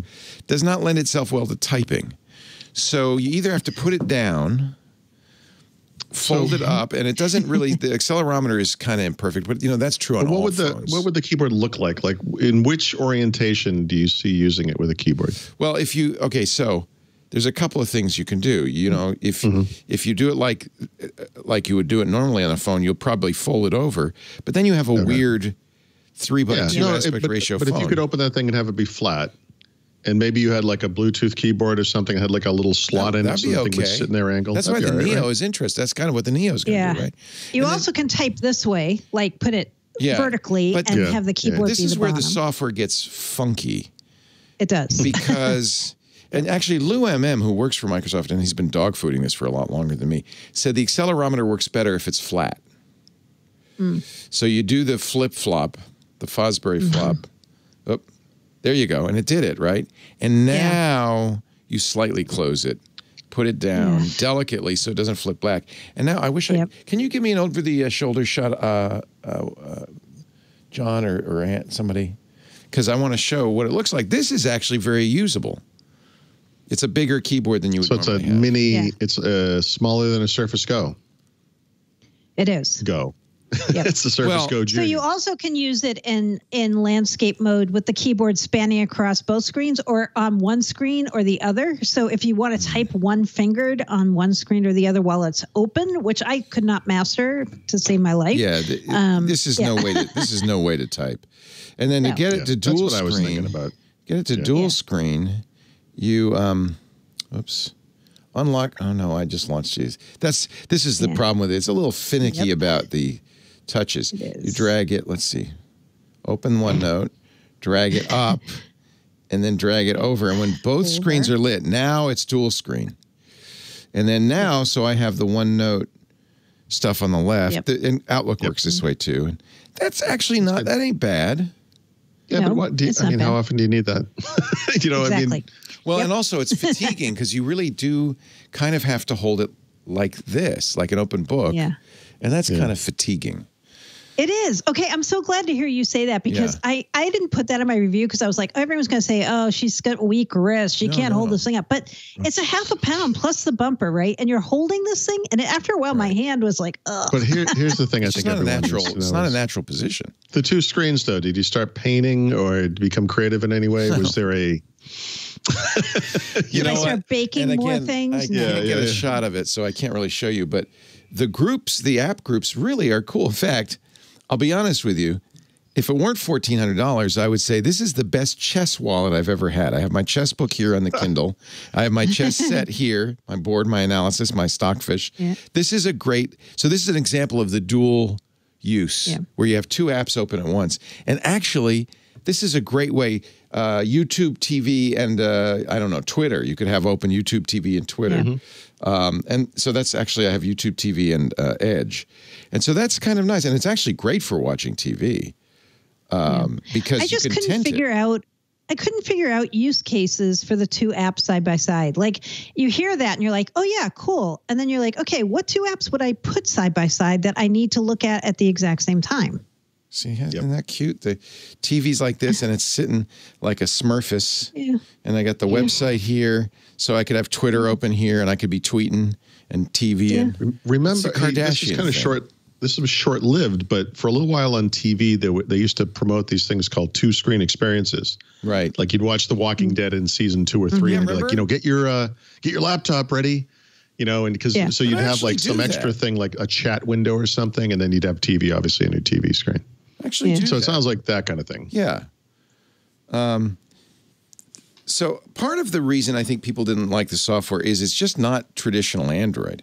So Yeah. it's disconcerting because some of the gestures, for instance, normally this would be return to home swiping up, and it isn't. Just tapping. It took me a while to figure out. Oh, you just tap the bottom to return to home. There, I got my picture in picture. Um, so, so they've changed the gestures a little bit. So you know you can turn off gestures, as I'm sure you figured out. Well, I do have gestures. the. It's funny because I have gestures turned off, but I still have the back button and the home and the recent. Yeah, button. that's what I wanted. I wanted the back button Yeah, you and the need it. you need it Yeah. because it's But it very hard to get to without recents. yeah, But, it well- ships without that on, and so then you're kind of like, I'm like totally without an orientation or a start place, right? You're like, what do I do, right? Hey, So sad I didn't engineers! get one of these. engineers, can I get some help here? Can you please put an over the shoulder? I'm sorry, I have to do this. My big No, I mistake think it's good. when I set see it. up this network was to let anybody else be involved. I'm sending, I'm sending you all home. Um, oh man. So now I don't even remember what we were talking about now. Um, no, the whole idea of turning off just Android gestures. Oh, yeah, I have 'em here. Um, and going back to the three button You need that. navigation, that. helps a lot. Because the gestures are different. The other thing, and this is minor, but for the longest time I was trying to get to the settings by hitting this button, this gear button. Right. Oh no, that's the, se- the- that's the brightness that's the button. bright- Look how close Yeah. that looks to the gear button. I That's just a. Microsoft thing. You could fix that, Microsoft. Maybe you should. Um, So, but I think I have gestures.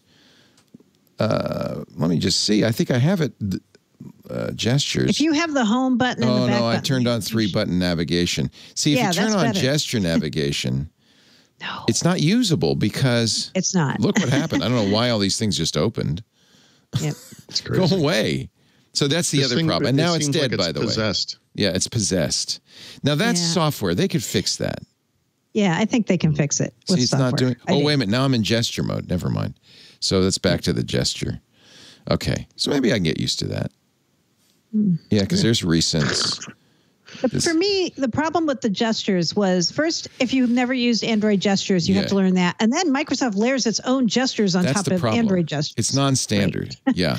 So that is a little bit of Guys, the problem. I'm sorry, I like this though. look- Don't you like? if like you look this? at how elegant the the Galaxy Z Fold 2 thing is, I mean, I this just looks unready. You know, it I just like looks the, like they I like the too soon. Launcher. The Love the launcher. Normally I switch my launcher. but isn't this good stuff. here like this? Yeah. Yeah. And this That's is really good. customizable. This is the left side. And so that, that. makes sense.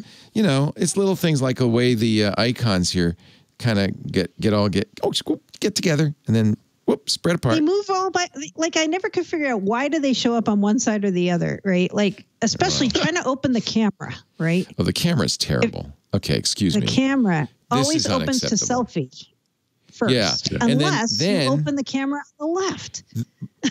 oh, really? Oh, I didn't know Try that. that. Okay.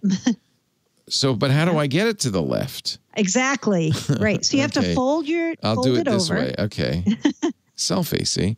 But No, then fo- no, no, but that's what's supposed to happen. See, then when you do this, yep. this thing But is it also doesn't. the double tap to switch instead. screens is dumb. I know.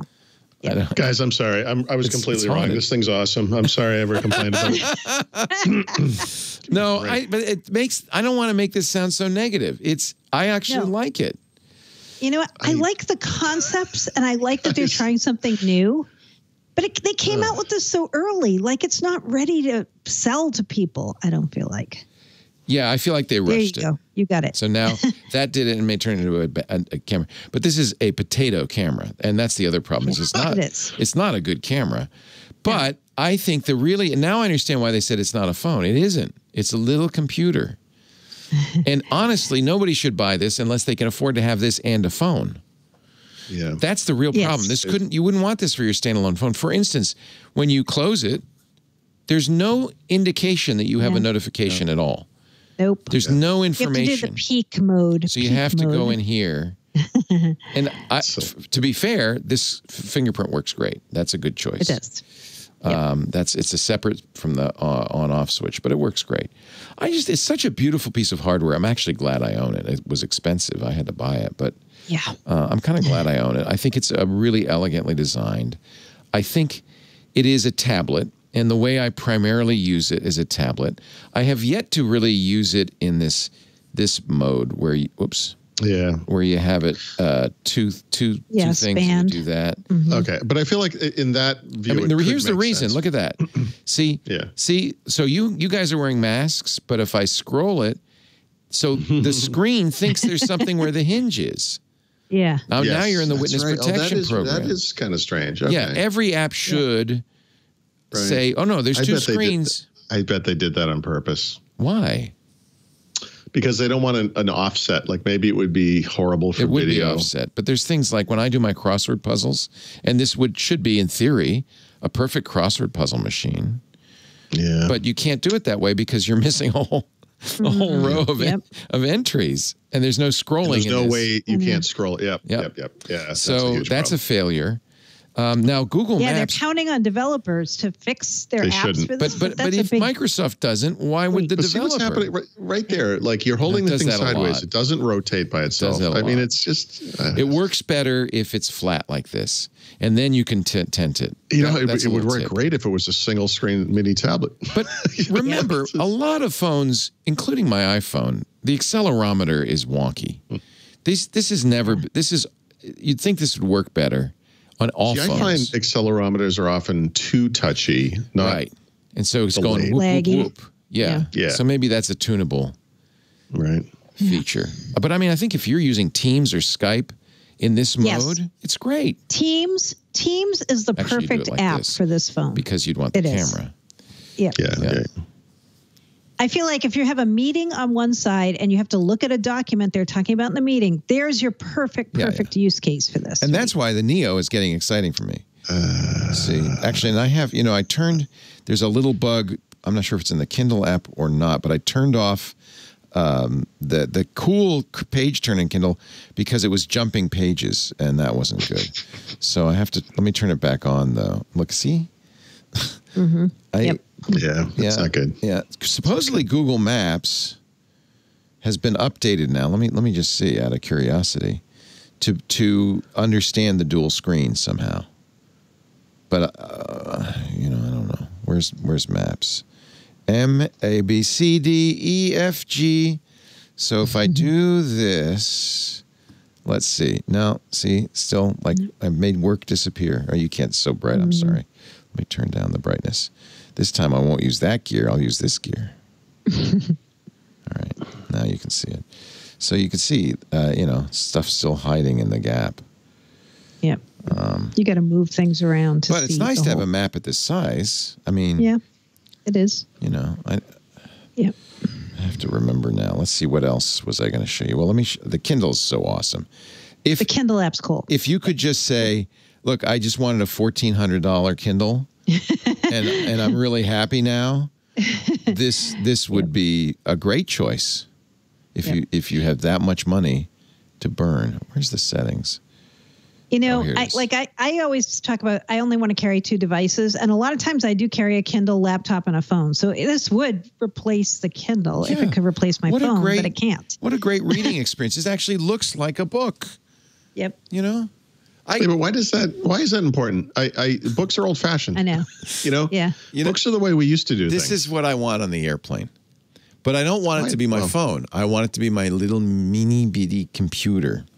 yeah. But this I'm gonna this will be great. Someday I'll fly again and this will be great to take on the airplane to watch TV, to read books, to do that dual screen thing for things like, you know, chess study. It's great. But you still need a phone for notifications and stuff like that. Cause also because this camera.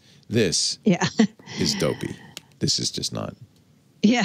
You got to use it with I'll put it earbuds. It's weird Yeah. otherwise. Yeah. Or the speaker if you if there's nobody Yeah, or the around. speaker. And it doesn't have a great speaker. It's a mono speaker, but it's good enough for a phone call. I actually been listening to books on it, which is fine. Mm-hmm. So, I, you know, it's not a complete failure, and I and I and I really don't want people to take the negative reviews as like, oh, they should just kill this. Right. I don't think they're going to. I- the rumor is they're already building version 2 for next year, so Yeah, and Yeah, presumably yeah, yeah. the Duo Two will be even better. I, I would hope so. that seems like the bar. Just, it's it's beautiful hardware. it really is is. great. The hardware is amazing. It is. They need a better camera, but again, I don't think anybody would want this as their sole phone. This is your work phone, maybe. Right? Something mm-hmm. like that. I want it to be a device I can take to an office and plug into a monitor and have it be my like Oh, work yeah. computer. Is The too Samsung continuing? does this. What is wrong with you know. two? The- I know. Yeah, but that's No, janky. do Samsung that. does it, but Samsung phones are terrible because of the Samsung ecosystem. Right. Like I don't want all the This stuff is a Samsung very. Microsoft. I don't want all that. Paul, do you have the fold? No. Are you going to get the fold? Nope. It's too expensive. Yeah. Two thousand dollars. Yeah. I would I wish I I wish I could afford it, but I, there's a lot of other stuff I have to get and this Yeah. is an expensive quarter and we don't have a lot of money. Yeah. So I can't. See now it's doing the thing that really bugs me, which is it's it's just not responding. Oh, now it responded like later. Yeah. So the It's slow laggy. response is a problem. Yeah. But I do I love this this idea and now I can show you. I mean first I have to flatten it, then I have to do that. This is great. it's great to Then, Then I have to bang it three times on the desk. just Come as, on, as a baby. Come on, baby. everyone watching. Leo actually knows a thing or two about tech. Come on, He baby. said- exactly. I know I'm you in a can little do trouble it. there. I broke it. So, but it's that's a nice way to watch TV is in the little with a little Smurfus uh, book, because that's what this is. It's a little Smurfus laptop, and I do I do think I do think that this the Smurfus uh, Neo will be great. Jeez, based on Well- this. Yes, because it'll be bigger. Why? It'll have a keyboard that slides out. It'll be this because this is a really interesting form factor. Leo, let, let me just throw like one idea out here. They they thought this was good enough to ship in its current form. they delayed the Surface Neo because the software wasn't ready. Are you kidding Right. me? Right. Like this is what they decided to ship. Can you even imagine how terrible Windows 10X must be right now? I'm just no. I'm, I, am I the only one seeing this? We've buried the biggest story of the week. Yeah, Halo 3 ODST is out this week. For, oh wait, but sorry, you meant I meant Bethesda, baby. Um, this is, I mean, somebody was pointing out, I think it was in Forbes, they said, you know, it's not like Sony could do this. they don't even, they don't, they don't, only a company with deep pockets could pay seven and a half billion dollars to Yeah. acquire a game company. The same price Right. they paid for GitHub, by the way. Wow. about the same as Nokia as well. And it's just Yeah, we measure right, things in Nokia. We'll just say Yeah. that Microsoft is acquiring Bethesda for one Nokia. That's kind of amazing. I'm a little more bullish on this though than I was on the Nokia purchase. I think this is going to be I- good. Right? Yeah, sure. I mean, I I, uh, I think this makes a ton more sense than TikTok. Yeah. Just throw that out there. Yeah. I mean, Yeah. I is- even think it makes more sense than that. yeah. this also kind of sends a message about how serious they are about this market because I think a lot of people and and I've I've certainly gone down this road in the past have said that you know maybe they should spin off Xbox. This doesn't necessarily make any sense. And then as we move into the cloud era and cloud-based gaming, you kind of see how Microsoft might want to Yeah. stick with it. But the big dig against Xbox has been game studios, exclusive games, and so forth. And I think I, I don't remember the exact numbers, but Sony is somewhere 13 or 14, and Microsoft has 21, 22, something like that. I mean, they have more game studios than Sony does now. So Wow. and these are some these are some great games. So Bethesda is, of course, best known. Well, I don't know. I like the Elder Scrolls. That's Skyrim. Um, I'm a big fan of that. They also do Doom. yep. They So do they own all the id stuff, right? So it's everything that all the id stuff. it- Commander yep. Keen. Nice. yeah, going back, you know, Quake, um, all the Quake games, all the Doom games. Guys, wait, Um, what about Wolfenstein? Wolfenstein. Yeah, Wolfenstein. The, the Well, game actually, for beer Wolfenstein's good- drinkers. Yeah. That's, That's the only reason I care about that. The Stein. Okay. The Stein. It's not it. what you think it is. Um, it's uh, No? it's, it's turned into well, um, it's it's kind of well, they've, it's been rejiggered uh, several times. It's a kind of a modern shooter now, but it's uh, Yeah. The, it was It's- the it's first sort- game I felt, practically the first game I fell in love with on an Apple Yeah. II. When they had, they didn't Oh, even have a sound original, the chip. Castle yeah, Wolfenstein. Castle Yeah, Wolfenstein. yeah. They didn't even have a sound chip, so all the Nazis were going. Right. but I, So for me, but it was So- Wolfenstein 3D. yeah, And then it was So then when it this turned into announced uh, Monday, Mein Leben. can I just you know, Mein Leben. can I just say when I saw this announced Monday, I had to wait to write it because I was like, "Who is Bethesda Softworks?" Never heard of them. Right. Oh, and let's not forget Fallout. Another Fallout. Another one I love. series of games. Love Fallout. Yep. So this they have this is a this is a studio with some real classic titles. The I the IP they bought alone is probably worth the seven and a half billion. Yeah, and they're an ongoing concern, right? These aren't games like retro games from the past necessarily. These are you know new new Fallout 76 is what came out last year or whatever. I mean, Yeah, it's good. It's Um, fun. uh, the new Doom is obviously done really Mm-hmm. well. Um, they they're yeah, it's a big deal. That's good. What did Microsoft pay for Minecraft? Like half that, right? Two something, two Yeah, point a third of that. maybe. Okay. I thought. So Does that sound right, um, Mary Jo? I'm Do you remember? actually uh, I'm They actually bought. ZeniMax, right, which is the parent company of Bethesda. So Mm. to be perfectly accurate, but nobody knows who ZeniMax is. But two or point Soft- five billion. Bethesda Softworks either, for that matter. But um, Mary Jo, yes, I think some of us do. I know some people do. It's a venerated name, actually. I had never heard of it. I'm Yeah. not kidding. Like I was, I said to people, I've never heard of it, and they're like, "Come on, you've played Skyrim." I'm like, "No, I haven't." Oh, that's Skyrim's no, that, awesome. that's a silly thing to say. But no, I can't see um, Mary Jo playing Skyrim, but it is a beautiful. I don't even game. know what it is, but okay. Anyway, you know, I covered it though because it's an acquisition and it's a big one, right? And I cover Microsoft, so I have to know about it. Think of the mashups. Somebody's Well, in the chat room saying, think "I can't the- wait for Minecraft Doom."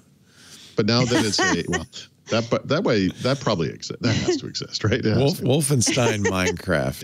Yeah. yeah. so the bigger deal though is that now because they're a Microsoft Studio studio, these new games as they come out will be made available on Xbox Game Pass day and date, right? So this is really That's huge uh, to me. part of that cloud slash subscription Yeah. push that Microsoft has just started. And um, yeah, I mean, this is we're we're getting to the point for a gamer where Xbox Game Pass might be getting into no-brainer territory. You know, smart. Chat room's having fun coming up with mashups. Pit Fallout will be fun. Uh, he's uh, Knox Harrington says in the new Halo, Master Chief will be sidelined by an arrow to the knee. That's something. If Mary Jo doesn't know the name Bethesda, she's definitely not going to get that. You know what? But I know that reference now because someone used it on Oh. me on Twitter. So. Yeah, yeah, yeah. it's classic Skyrim line. um, so no, I think there's a there's this is really this is going to be very interesting. And by the way, it makes me cry even more that I wasn't able to get the thirty-five dollar Microsoft Xbox Series X deal. Oh yeah, you couldn't get it, huh? The bots beat We're gonna, me. we're, we're gonna we're gonna get to that because Yeah. I also Yeah, got beat and Very- I'm not happy. Very Oh, frustrating. really? Wow. Oh, those Yeah, bots. this is a, a, a failure of Azure scalability Wow. if there's ever been one. I Whoa. what a what a fiasco. We'll that save was. that though. Terrible. Let's let's because yeah, Yeah. you want to spend some time with it. So Yeah. Sure. Uh, we, we will talk about that. So, what does this tell you about Microsoft's ambitions in, in gaming and Xbox? And how does this fit Yeah. in with their other ambitions in with the cloud and things like that? I mean, You know what? I, Microsoft is in a weird place right now because they are releasing consoles, and those aren't really the primary focus on the future for them, right? And and they obviously they want to sell consoles, but hardware is uh, an expensive business to be in. It, it typically loses money. They're looking for this, you know, the razor blades here. In this case, you know, the in, in the back in the day it was games, and now it's game subscription services to kind of float those customers and make them make sense financially. So, what this is doing is stocking up that stable that they have of games that are available via Xbox Game Pass and uh, cloud streaming, and it just makes this entire ecosystem better for gamers. It makes it more of a destination to go to. Um, Sony is doing the same thing they've always done, which, by the way, has worked for sure. I mean, I'm not um, not dumping on that, but they want you to buy an expensive new console and they want you to buy games. You know, and Sony, uh, Microsoft is saying you don't have to buy a, a console. You can play games almost anywhere. It's only a few places now, but eventually, obviously, anywhere. What we want you to do is subscribe to this service, and you'll be able to play. And you know, depending on the capabilities of the system you're using, you'll you'll have uh, you know better experiences as you kind of go up the chain. But um, this stuff works basically everywhere. Uh, the Microsoft Studio games certainly do. So I think that's cool. Plus, you know, obviously they're cross-platform already. These guys uh, have PC games that they probably sell through Steam. They have PlayStation games they sell through the uh, the PlayStation Store. That's not going to change, right? But um, you know, if you have it with the subscription and stuff comes out, DLC for a game, a new game, whatever, you're just going to get that. You know, and I, like I said, it's not quite no brainer depending on the types of games you want to play. But uh, before this acquisition, there were 167 games, I think it was, and Game Pass is another 50 plus coming from EA Play, and then whatever the stable is of uh, Bethesda games, it's got to be several dozens of games. You know, so it's definitely going to go over 200.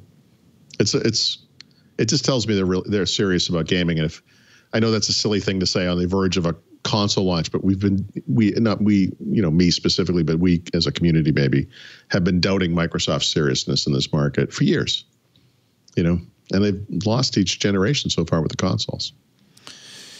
But what is lo- lost know- only means that they didn't sell as many, right? Yes, but I suspect it also means they made zero money. Okay. Like, I mean, Xbox as a business has not been profitable for Microsoft. Well, that's why I'm wondering why they're spending seven and a half billion dollars for a money losing business.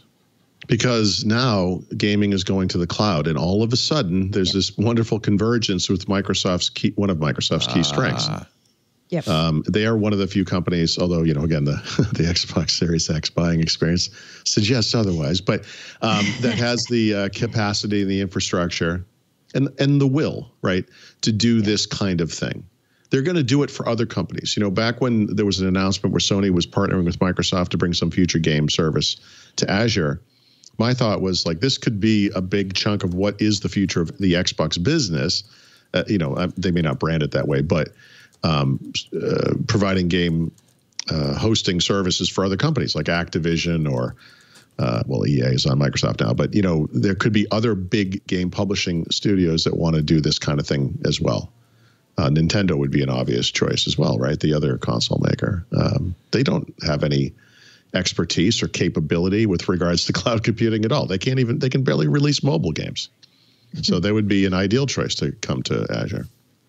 Or you, you know what's crazy to think about?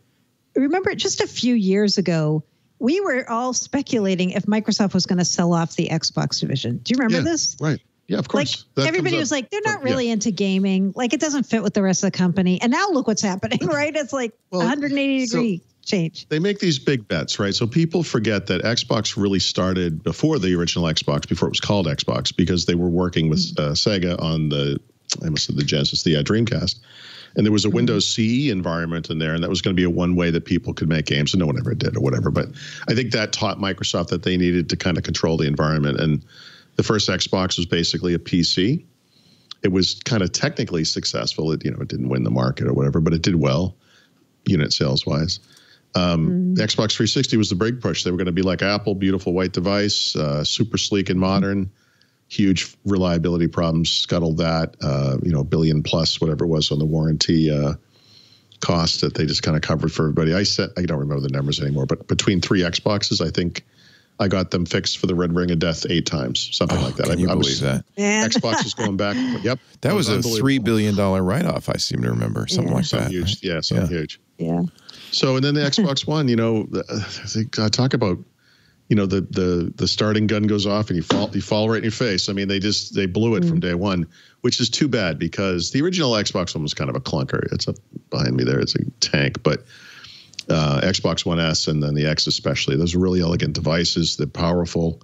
Um, now they're well, now they're gone, but they got really inexpensive. I mean, and then Microsoft did the whole rejiggering of their strategy, you know, because they had to. But it turned into, I think Xbox has turned into something wonderful for gamers, and uh, it's, you know, we'll see, we'll see what happens. But I, I think they're going to do pretty well. Um, I was torn between the PlayStation Five and an Xbox, but I think the acquisition of Bethesda Wow, really? Well, I bet I, am not alone either. Because if you're, I'm a fan of Fallout and and Skyrim.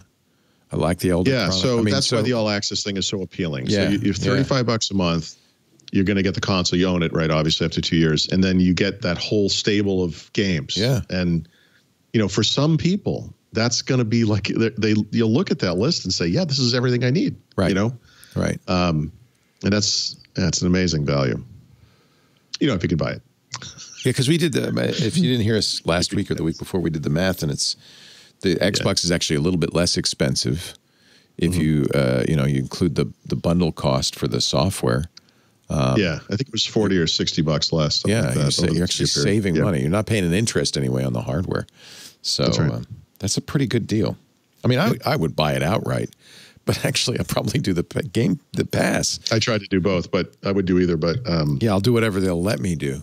Yeah, but yeah, I mean, the other thing that's really interesting about that is obviously I, there's probably I know there's a term for this. Like there's an ad on TV for a car and it's super low price. So you go to the dealership and it's like, oh, that one's already gone. But the look, we have these awesome ones over leader. here. Loss. Okay. Or you have this notion of like the Apple Watch starts at 99 yeah. cents, but you want the one yeah. that's 600 bucks. Right. You know, so the thing that's cool about the uh, Xbox All Access is that it's such an easy justification to make. You're not going from spending $300 to spending $500 you're going from spending $25 a month to $35 a month, right? Like that difference is like one trip to Dunkin' Donuts to keep beating to death. That's the same example I always use, but it's like $10 a month is negligible to almost to anyone who would be in the market for buying one of these consoles. So it it makes upgrading to the better one, you know, again, a no-brainer to keep reusing things I always say, but um, it, it just makes it you know an easier thing because when when I was thinking about paying for these things outright, I'm like, I'll just get an S. You know, yeah. I play on a 1440p set anyway. Who cares? Right. Um, but ten bucks a month, like, eh, well, yeah, X makes more sense. Yeah. One of the things I look forward to every year, in fact, it just happened, uh, is a visit from Microsoft's Chief Marketing Officer, Chris Capossela. We like to look at the Microsoft holiday ad. They always do something pretty heartwarming. And Chris usually has some interesting things to say, like this. For me, Microsoft Defender and Azure Sentinel, these are two, these are just complete hidden gems. And uh, I think the world is starting to wake up to the fact that Microsoft is a serious security provider and we can't do it alone.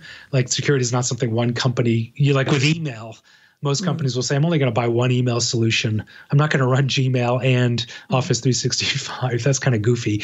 But security is not that way. You know, security people spend a lot of money on a lot of different solutions. And this is the year, this past year is the year that I think Defender and Sentinel really sort of grew up and came into their own.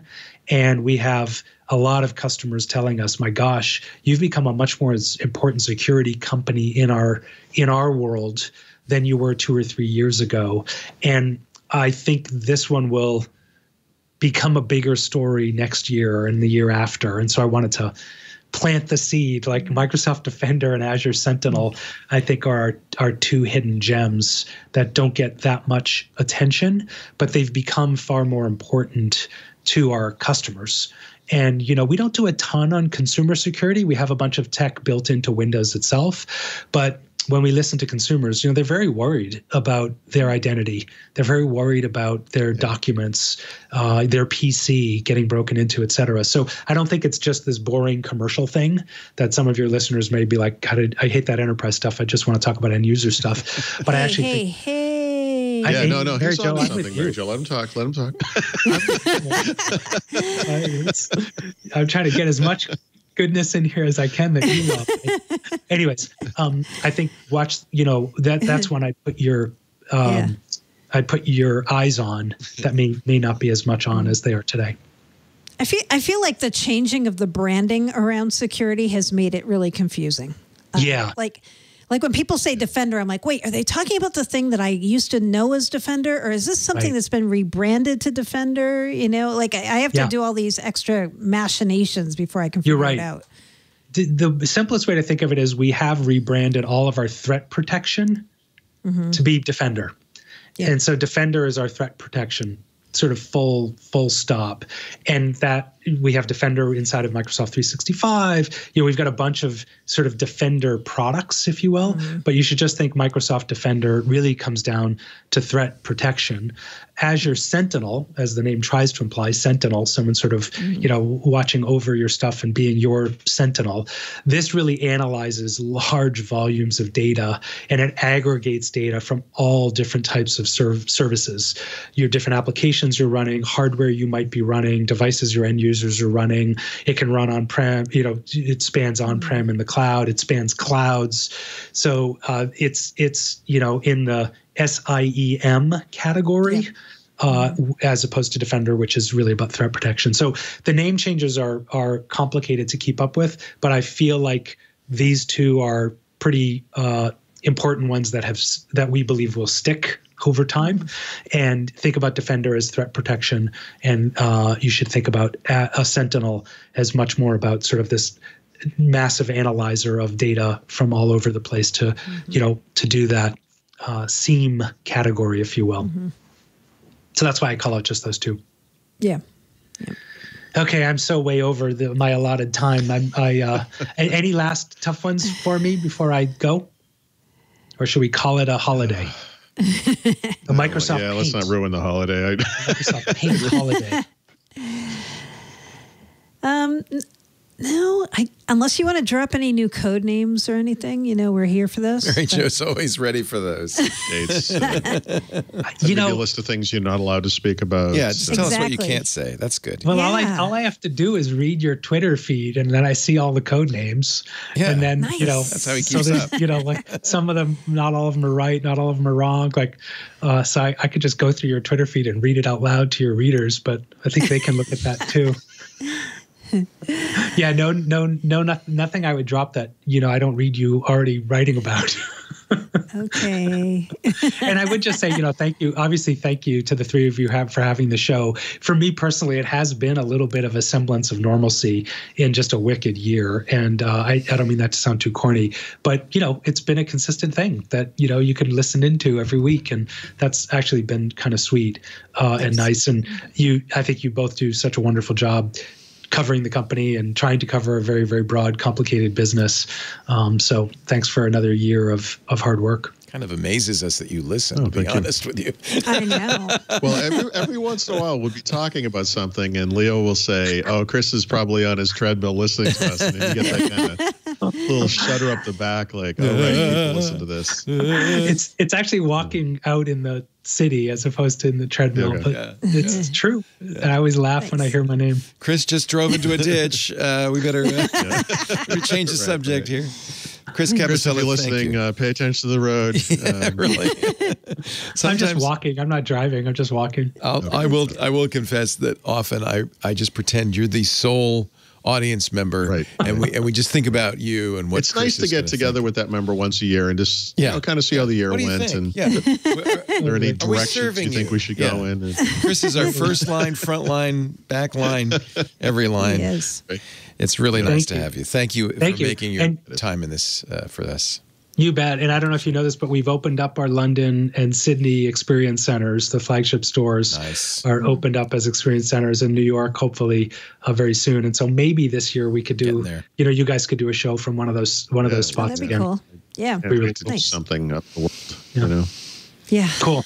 Well, take care. Have a happy Thank holiday. you, Chris. Yeah. Thank you, Chris. All right, I'm going to press the magic button that makes Chris woo disappear. that is really that is really cool. I just love that. uh, something new the uh, team works. It's like get the hook. Yeah. Right? yeah.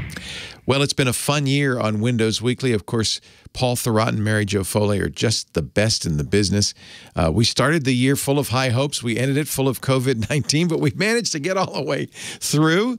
Uh, maybe not just COVID 19. I might have been full of some other things. Uh, but thanks to the to Richard Campbell, but we expect there'll be lots of fun in 2021, and we really hope you will join us. Thanks to all of you for watching the show. I wish you wish you and listening. I wish you all the happiest of holidays. I hope you get to spend some time with family and friends, or just sitting by the virtual fire, enjoying life a little bit. Uh, we'll be back next week with a brand new Windows Weekly episode and plenty more for 2021. Have a great holiday. I'm Leo Laporte. We'll see you next time.